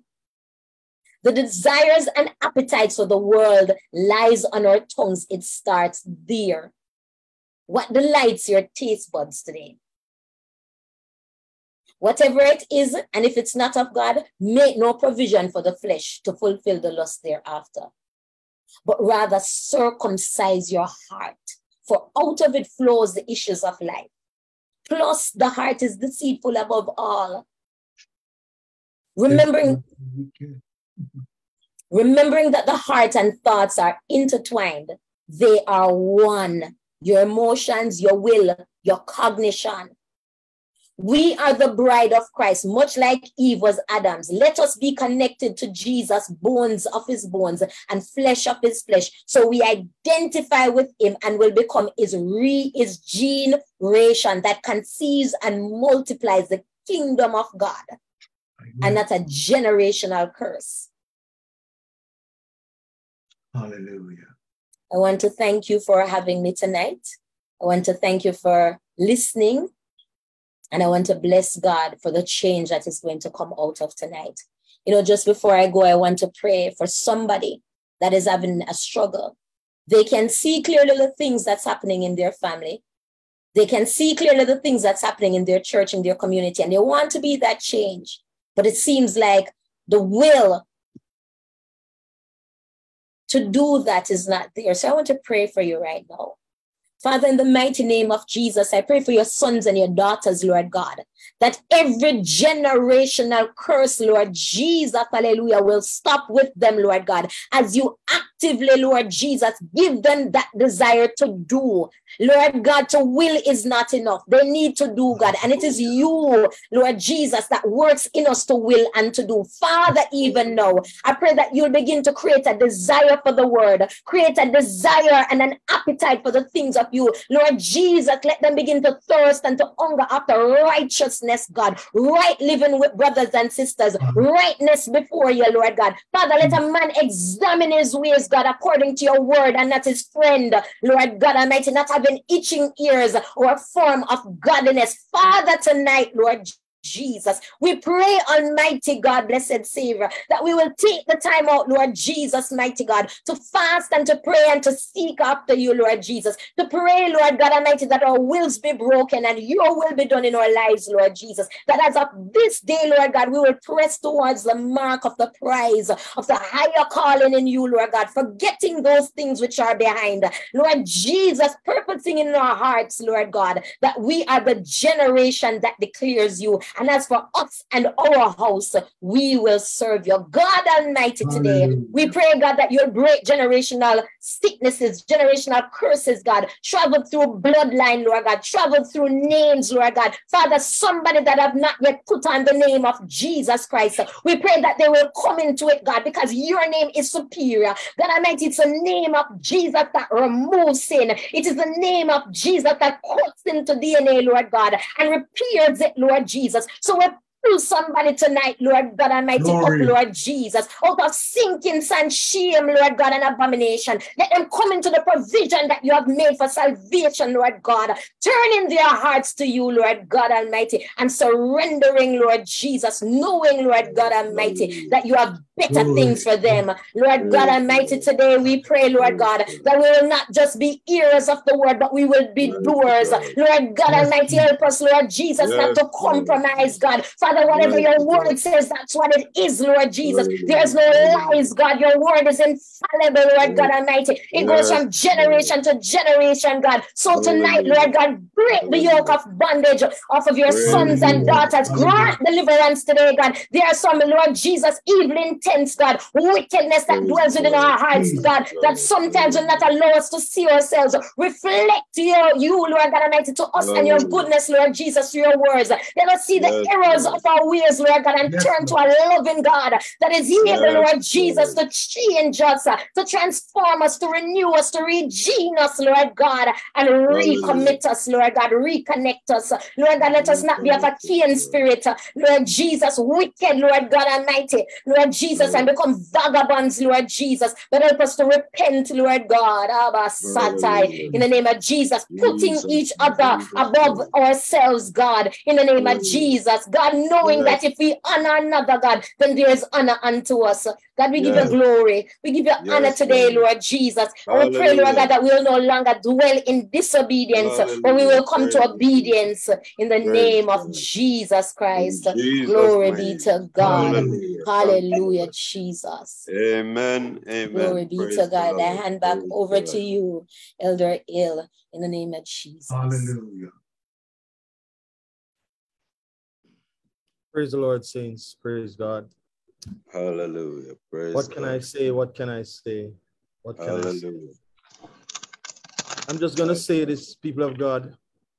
Praise God. As I sat here and I mused on the word, and in my spirit, I was asking God, you know, what do I say after? What, what are you saying? I heard what you're saying to us.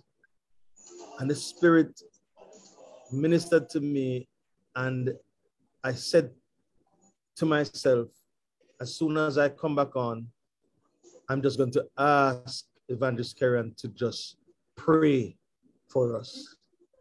And she just went ahead and did it without me having to ask. And I believe God was just proving to me Hallelujah. has ordained what happened here tonight.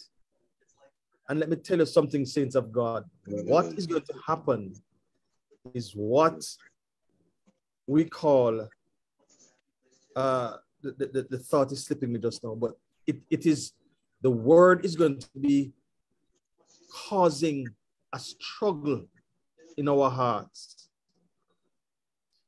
We are going to be tempted to fight it. And I want you to understand what is going to take place.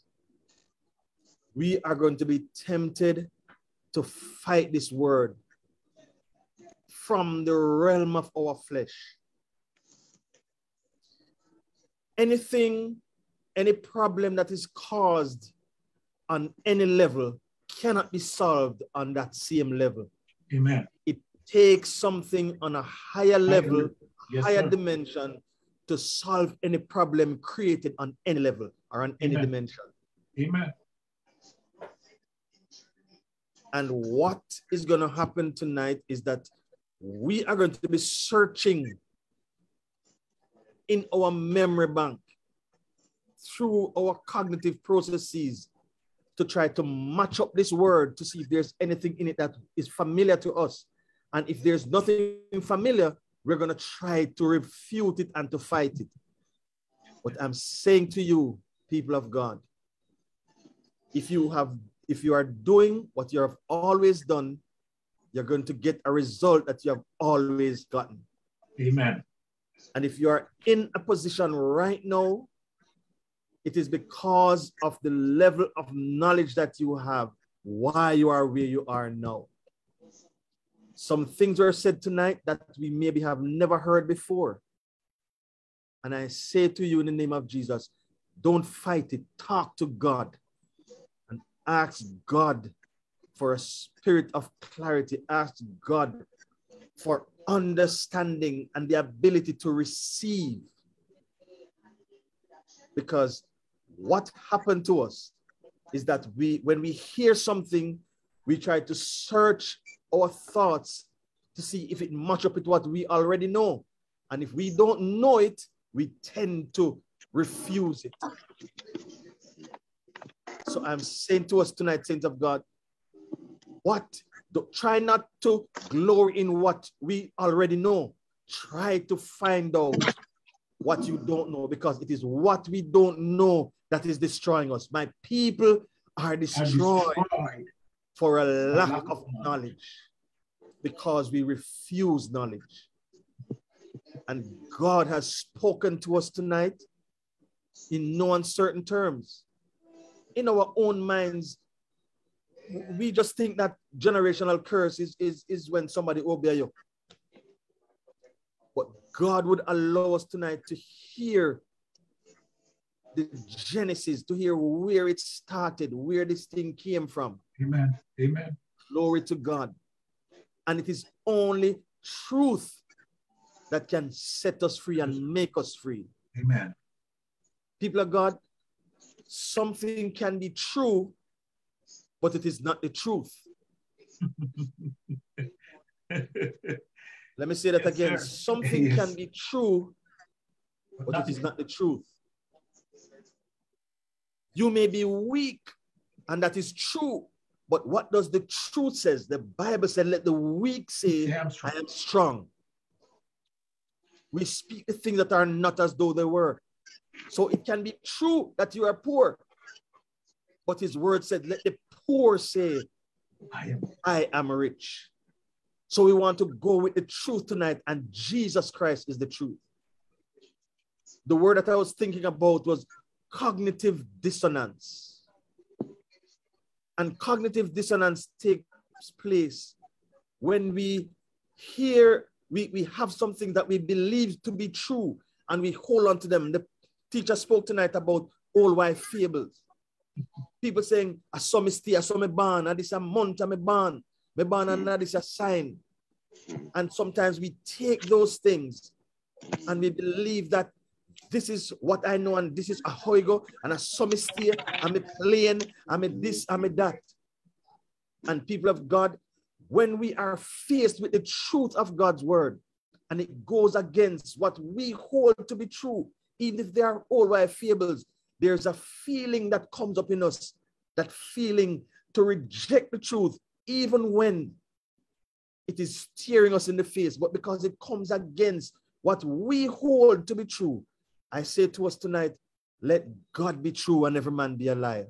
Amen. Amen. Amen. Let us humble ourselves at the mighty hand of God and realize that it is only the truth of the word of God that can really make us free and set us free. Amen. And tonight we have heard the truth of God. We are just going to ask Can I just Everyone. give a testimony? Can I give a testimony just to confirm what you just said? Go ahead. Go ahead. Greetings, brethren. When I just got saved, I was in a Bible study one night. It was a day, I think it was a Easter, it was a Good Friday. And I remember the teacher was teaching, and I got up and I made mention of something that I knew according to the word. And uh, the teacher said to me, if that is what you believe, shut up and sit down. How do you, and I, I quoted the scripture and the person said I should keep quiet and sit down. And about 13 years after, the same teacher came back to me and said, sometimes things that we learn when we get older because we're in the gospel a long time, we don't believe and we will not accept some things from a younger person. And he said, I remember what I said to you about 13 years ago, but I just came back from a pastor's conference. And the very thing you said in that Bible class 13 years ago, I went there and I heard it and I just accepted it. Hmm. It took him 13 years, brethren, My Lord. for him to learn the truth of something that a young brother just come into church. Mm, And this was one of the elders I'm talking about. mm, took him 13 years to learn what he could have learned that day. What Elder Hill just said, sometimes we search our memory and all of that to find out if, did I hear this before? Well, I'm going to reject it. Brethren, take it from me. What we have heard tonight, think about it, pray about it, because it's truth. God bless you, Elder. My God. People of God, God loves us. God loves us. And when the queen of Sheba went to Solomon and heard of his wisdom, Half has never been told. my God, she said the half has never been told. And she said, Oh, how God loves Love. Israel Oh my God. that he should give Israel, give you to Israel to be their king.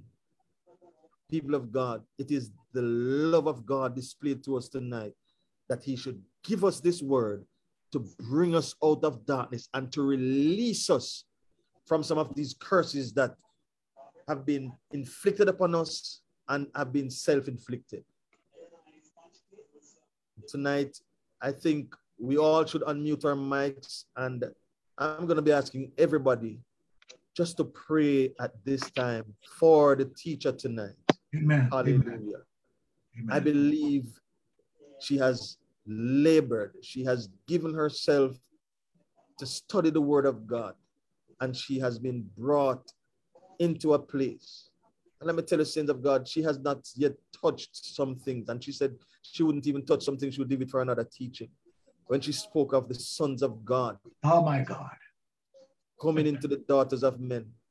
Saints of God, sometimes we are boasting in just knowing Acts 2.38 and we think that that's all I need to know. And I'm telling you, Virgin, that is why we are where we are. And we won't experience the fullness of God because there are deeper depths and higher heights in God. Jesus said to the scribe and Pharisees, if you said you were blind, you'd have received sight. And tonight I want to say, I don't know anything, and I'm glad for to be schooled tonight in the word of God. And I'm just going to ask everybody at this time, just them. just before we pray, Virgin, just before we pray, I've been resisting this thought. Normally, I don't do something like this, but I'm not going to let the enemy let me keep quiet. I'm Go going to say, especially for those of us here in the United States. Evangelist Mitchell, I know you never tell me to do anything like this, so I'm going to apologize before I do it. But I am led to do this. before you pray, brethren, pray for this also, that if the Lord laid on your heart, Evangelist Mitchell has been teaching, to send something to give her. You can just write it in the chat, personalize it to her, and ask her how you can get it to her. Please pray about it. And whatever the Lord placed on your heart. She has not asked me to do it. Normally, I don't do something like this, but I have been fighting against asking, and I realize I need to stop it. Lord, put something on your heart sometimes. Lord laid on your heart and your tongue to contribute something to her. Please do. There might be individuals here might be wondering, how can I do it? But I'm going to, I'm just, just going to chat, scroll down to her name, and just send a, a little message to her and let her respond. God bless you all, brethren. Hill. Praise God. Praise God. Wonderful man of God. Just gonna ask everyone to unmute their mics at this time, and we just hold up the woman of God before God. Hallelujah. Hallelujah. Let's unmute your mics, everyone. Glory to God. Glory to Hallelujah. God. Hallelujah. Glory, glory, glory. Hallelujah. Father, in the name of Jesus, Jesus. yeah. Name of Jesus. Take Glory be to God. everlasting Father, we You have used her mightily, God Almighty. for oh, your Yes, servant. We are Thou art thanking you mighty to tonight, save God, and from Jesus, sin. for the grace that you Thou art the above same the yesterday, today, to forever. Hallelujah. tonight. Let your Glory be to God. Glory be to God. Glory God. God, uh, that you give unto Thank us. you for tonight. just Blessings the way of the overflow. Lord. Hallelujah. Uh, like a Hallelujah. mighty Thank God, you for your Jesus, let in your the will be name done. of your Jesus. I sweet receive cleansing your blood mighty God. I Since thank Jesus. that you. reaches to the great highest mountain God, God, I Anointed. great and God it and flows Your flows word to is God. sir that the you Lord of serve. Wherever the name of mighty Hallelujah. God Coverage, Bless your God, God. in the name for of your his Jesus. servant. God, Hallelujah. we bless your name tonight. Hallelujah. Serve Just from an continue And we The using name of place her. you at the Jesus. Highest you are the great, great my Continue to God. use her to speak into Uh, the God, hearts of and reign millions of serve people, supreme her, mighty Lord. across God. the universe. Lord, So, Lord light Jesus, Bless send her us not going out, grace coming your in. love. even when Hallelujah. Lord So Lord, your Jesus, love the her. name of Hallelujah. Jesus. uh, God, Sister Mitchell, Hallelujah. You Jesus. use Lord, her the in the heart mighty desires Uh, of her God heart, Almighty, Hallelujah. I make ask sure you, I Lord, take anointing.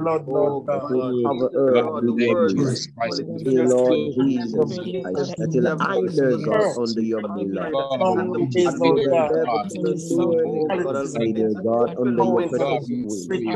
Lord, Uh, God, fly every God trap of sent the enemy. God Almighty. Man, God, Oh God every Almighty, plan her of the blessing. adversary, God, for her Any life. spirit Pray that right bring up her now, blessing in the to heavenly the realm God again. Almighty that will enlarge her Spirit, territory. oh God, God, enlarge her Lord oh, Jesus all the Christ, things that use her, dear God God, Almighty has to waited destroy God in your covenant. Use her blessing will in be your upon her life. head. Use her, God, for your glory. Continually, God. I pray, In the name of God, to Jesus. bless her, God, in her For your going word, out. Lord, that you serve Bless her her, and God, protect in her her. increase. God, help her to abide in the Bless her, secret place. God, in every step, God, in In the the name of name of Jesus. Everything Jesus. around her, about her, her Christ, family. I pray, Lord Let her God, as she poured out husband and her son. In the uh, name of God, into us tonight. her Pray, Lord mind. Jesus, that you Be pour blessed, out, Lord. Thank hallelujah, you. in her. In the Lord name of Jesus, let her Jesus be Christ. Thank you, full, Lord. Lord God Almighty. Glory to God. God, Thank you, overflow, Lord. God, Hallelujah. and Lord Thank you, Jesus, to Lord. declare Thank you, your Lord. words. Let your will be In the done, name of God, in her Jesus. life Thank you, Lord. until salute to you, In God, by Jesus' faith name. until the time. Hallelujah, God. In Jesus' Hallelujah. Name. Thank you, Lord. Thank you, Lord. Thank you, Lord. Amen. Amen. God bless you, people of God. God bless you. Thank you for coming out tonight. Oh my God. Thank you for this word, woman of God. Glory to God. You have researched and you, you have done the will of God. And I pray tonight that there be a manifestation, glory to God, that somebody will be delivered, glory to God, by the truth of the word of God to the glory of God. God bless you. Hand over now to Pastor Marks. Glory to God. You can just finish up, Pastor Marks, and do the greetings in the name of the Lord. God bless you, saints. Uh, we're just going to close off right there. Sorry about that. Sorry about that. Praise God, praise God, hallelujah.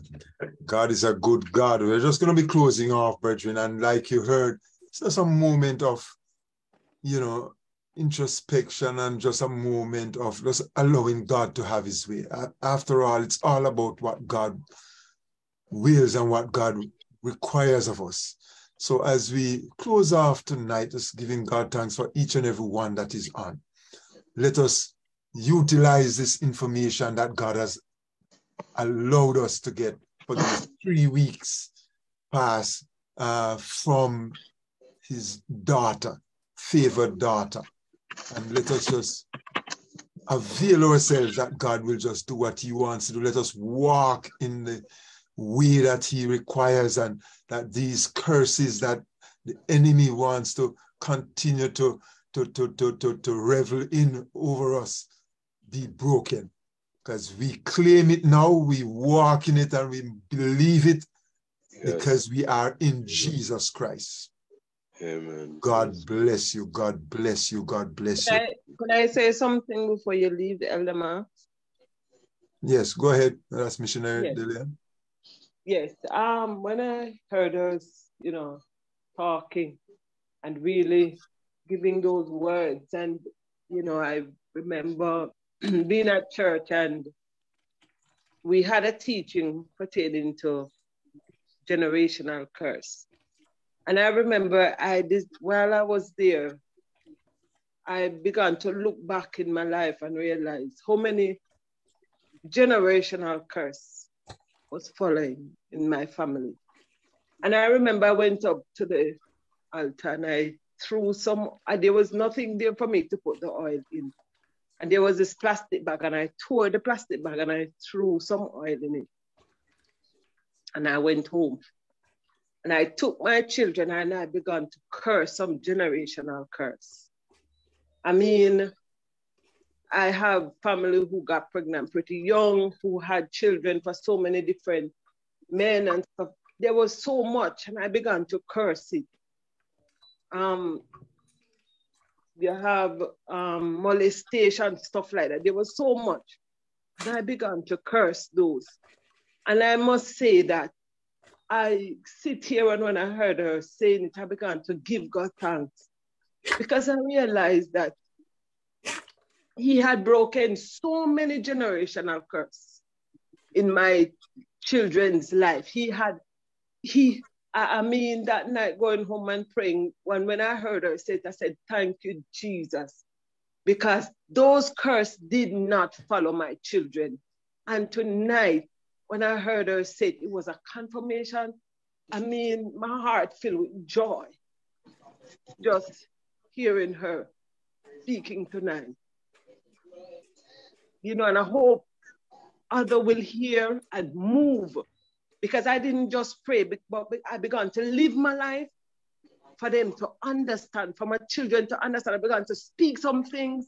I mean, I have children who I took into my home and I began to speak life upon their life and, and pray and break some generational curse in their life. And I've seen where God had worked.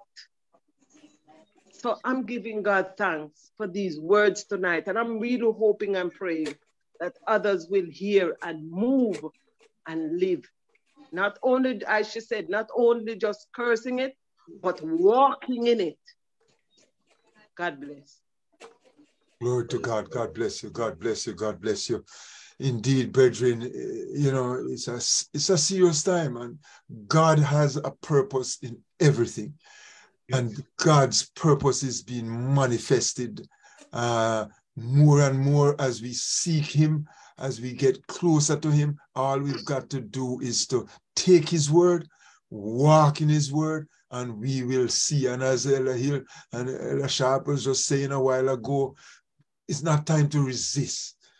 It's no. time to just walk in the word of Almighty God and humble ourselves before God and let God's will be done. This world is crying out right now for the sons of God to arise and to, to, to accomplish his purpose and that his will be done in just say in your location, wherever it is, Flagaman, St. Elizabeth, wherever it might be, mm. Connecticut, New York, Montego Bay, uh, Spanish Town, wherever it mm. might be, Manchester, anywhere, thy will be done in this location, in my life yeah. as it's being done in heaven. That's what we're seeking. God bless you, brethren. Be of good courage. And Elder Sharp has announcement for next week, God bless you. It was just a, a privilege to be here.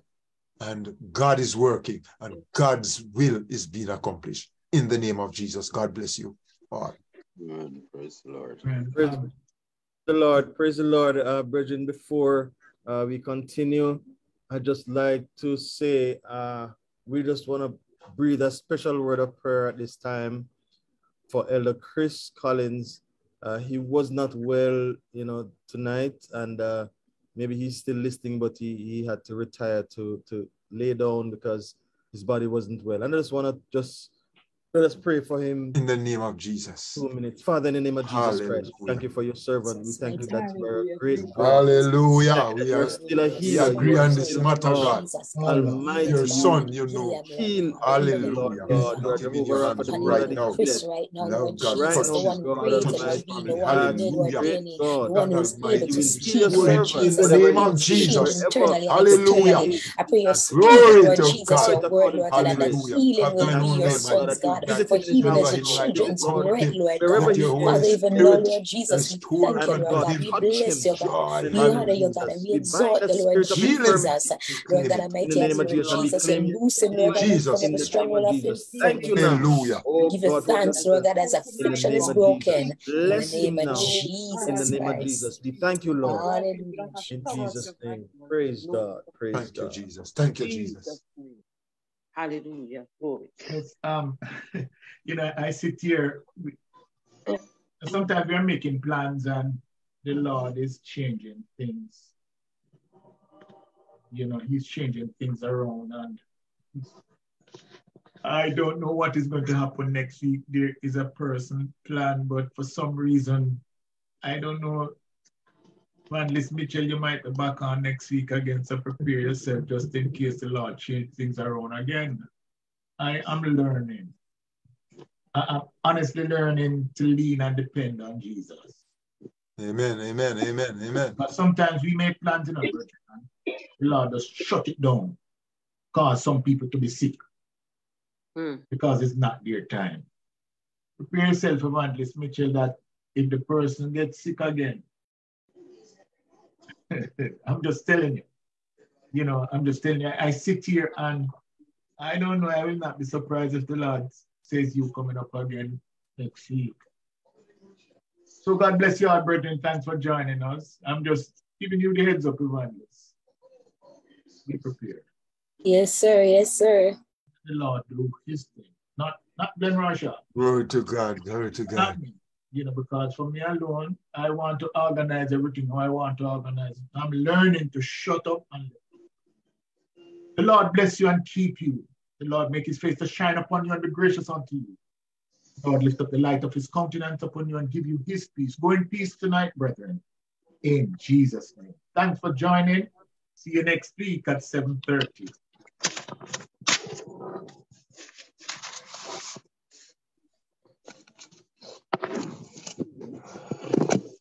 Blessings, blessings, blessings. Bless you, Elder Marks. Bless God- you, sir. God bless you. God bless you. I sent you a direct message there too. So Yes, I saw it, sir. I responded. Thank you. you respond? Oh yeah. Yes. I will talk to you. Yes, sir. We will talk. Blessings. Bless you, Sister Nadine. Bless you, Brother Akeem. Bless you, Sister Faith and Sister Keisha. God bless you.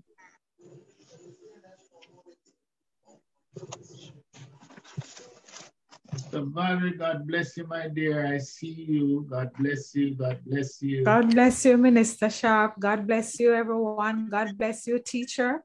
God Great bless job. you.